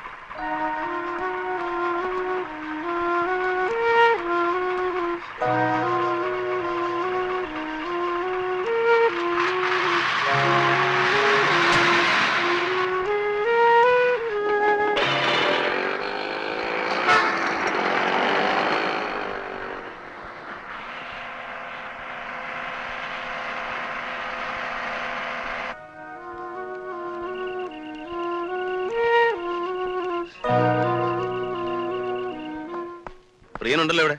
ഇല്ല. അതിലിപ്പോഴാണല്ലോ പുറത്തേക്ക് പോയത്. നിങ്ങൾ ഇന്ന് പാൽ വന്നിരുന്നാണല്ലേ അതെ. എന്തെങ്കിലും അത്യാവശ്യം പറഞ്ഞാൽ മതി. ഞാൻ മെസ്സേജ് എടുത്തോളാം. ഇല്ല ഞാനിവിടെ വെയിറ്റ് ചെയ്യാം.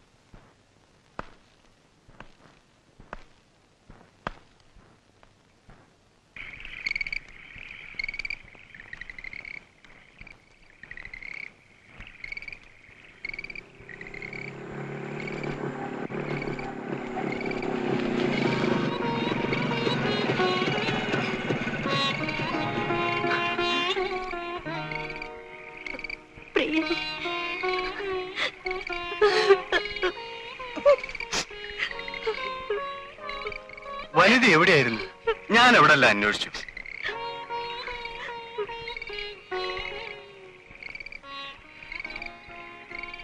ഉണ്ടായതൊക്കെ അറിഞ്ഞില്ലേ?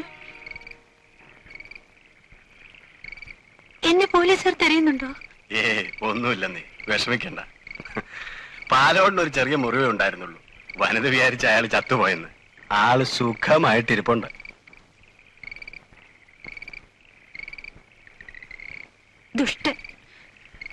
ചാകേണ്ടതായിരുന്നു പ്രിയനെ പോലീസ് കൊണ്ട് ഉപദ്രവിച്ചോ ഇല്ല.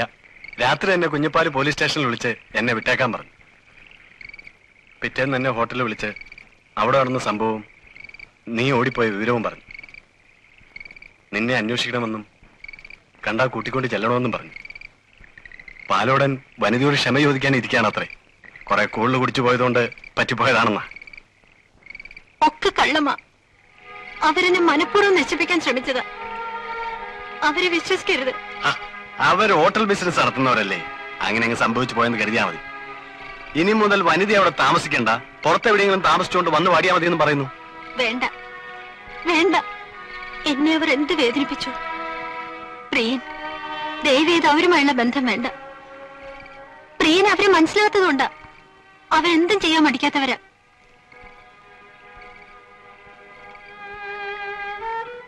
ഓക്കേ. പ്രിയൻ എനിക്കൊരു അപേക്ഷയുണ്ട്. നമുക്ക് ഒരുമിച്ച് എവിടെയെങ്കിലും പോകാം. ഒരുമിച്ച് ജീവിക്കാം. എനിക്ക് വേറെ ആരുമില്ല.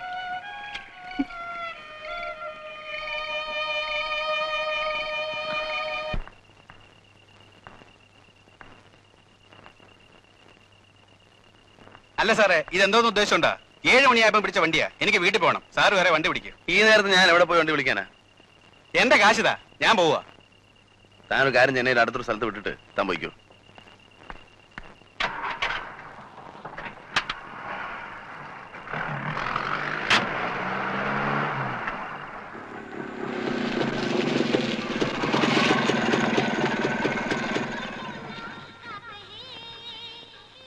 ഞാനൊന്ന് ഫോൺ ചെയ്ത് ലോഡ്ജ് പറഞ്ഞേക്കാം. നമ്മൾ വരുന്നുണ്ടെന്ന്. അല്ലെ സ്ത്രീകളുമായിട്ട് ചെല്ലുമ്പോൾ ചിലപ്പോൾ വാച്ച്മാൻ തടയും. അതുകൊണ്ടാ.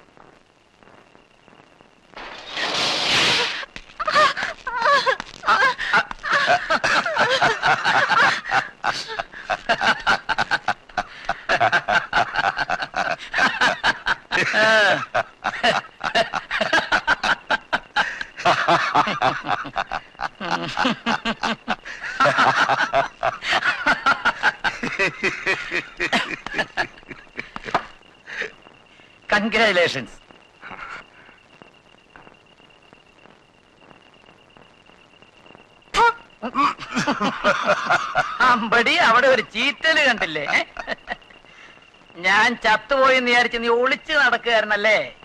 പാലോടൻ അങ്ങനെ പെട്ടെന്ന് ചാകത്തില്ല. ആഗ്രഹിച്ചൊക്കെ നടത്തിയിട്ടേ ചാകൂ. എവിടെയാടി നിന്റെ രക്ഷകർത്താവ്. എഴുത്തുകാരൻ. അവനെ ഞങ്ങൾ വെച്ചിട്ടുണ്ട്. ഇങ്ങ വന്നേ. ഇങ്ങ വന്നേ.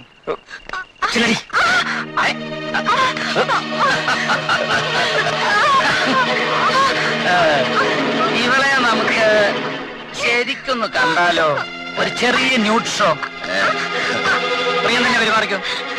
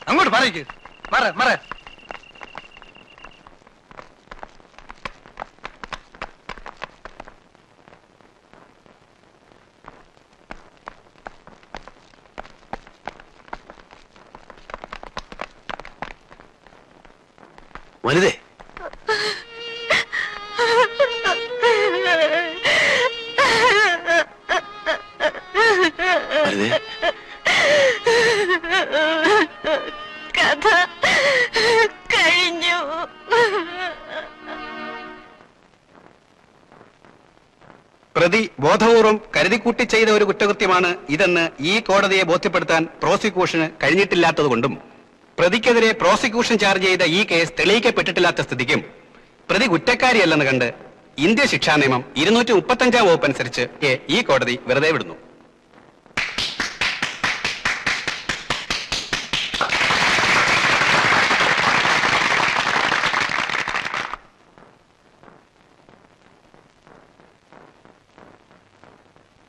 പ്രതി അഭിസാരിണിയും പല കുറ്റകൃത്യങ്ങളും ചെയ്തിട്ടുള്ളവളും സമൂഹത്തിൽ മാന്യസ്ഥാനം അർഹിക്കാത്തവളുമാണെന്ന പ്രോസിക്യൂഷന്റെ വാദം കോടതിക്ക് തള്ളിക്കളയാനാവാത്ത വിധം തെളിയിക്കപ്പെട്ടിരിക്കുന്നു. അതുകൊണ്ട് പ്രതി ഒരു വിധത്തിലും ദയ അർഹിക്കുന്നില്ല. പ്രതിയുടെ പ്രായം കണക്കിലെടുത്ത് പ്രതിക്ക് നൽകാവുന്ന പരമാവധി ശിക്ഷയായ വധശിക്ഷയിൽ നിന്നും ഒഴിവാക്കപ്പെട്ടിരിക്കുന്നു.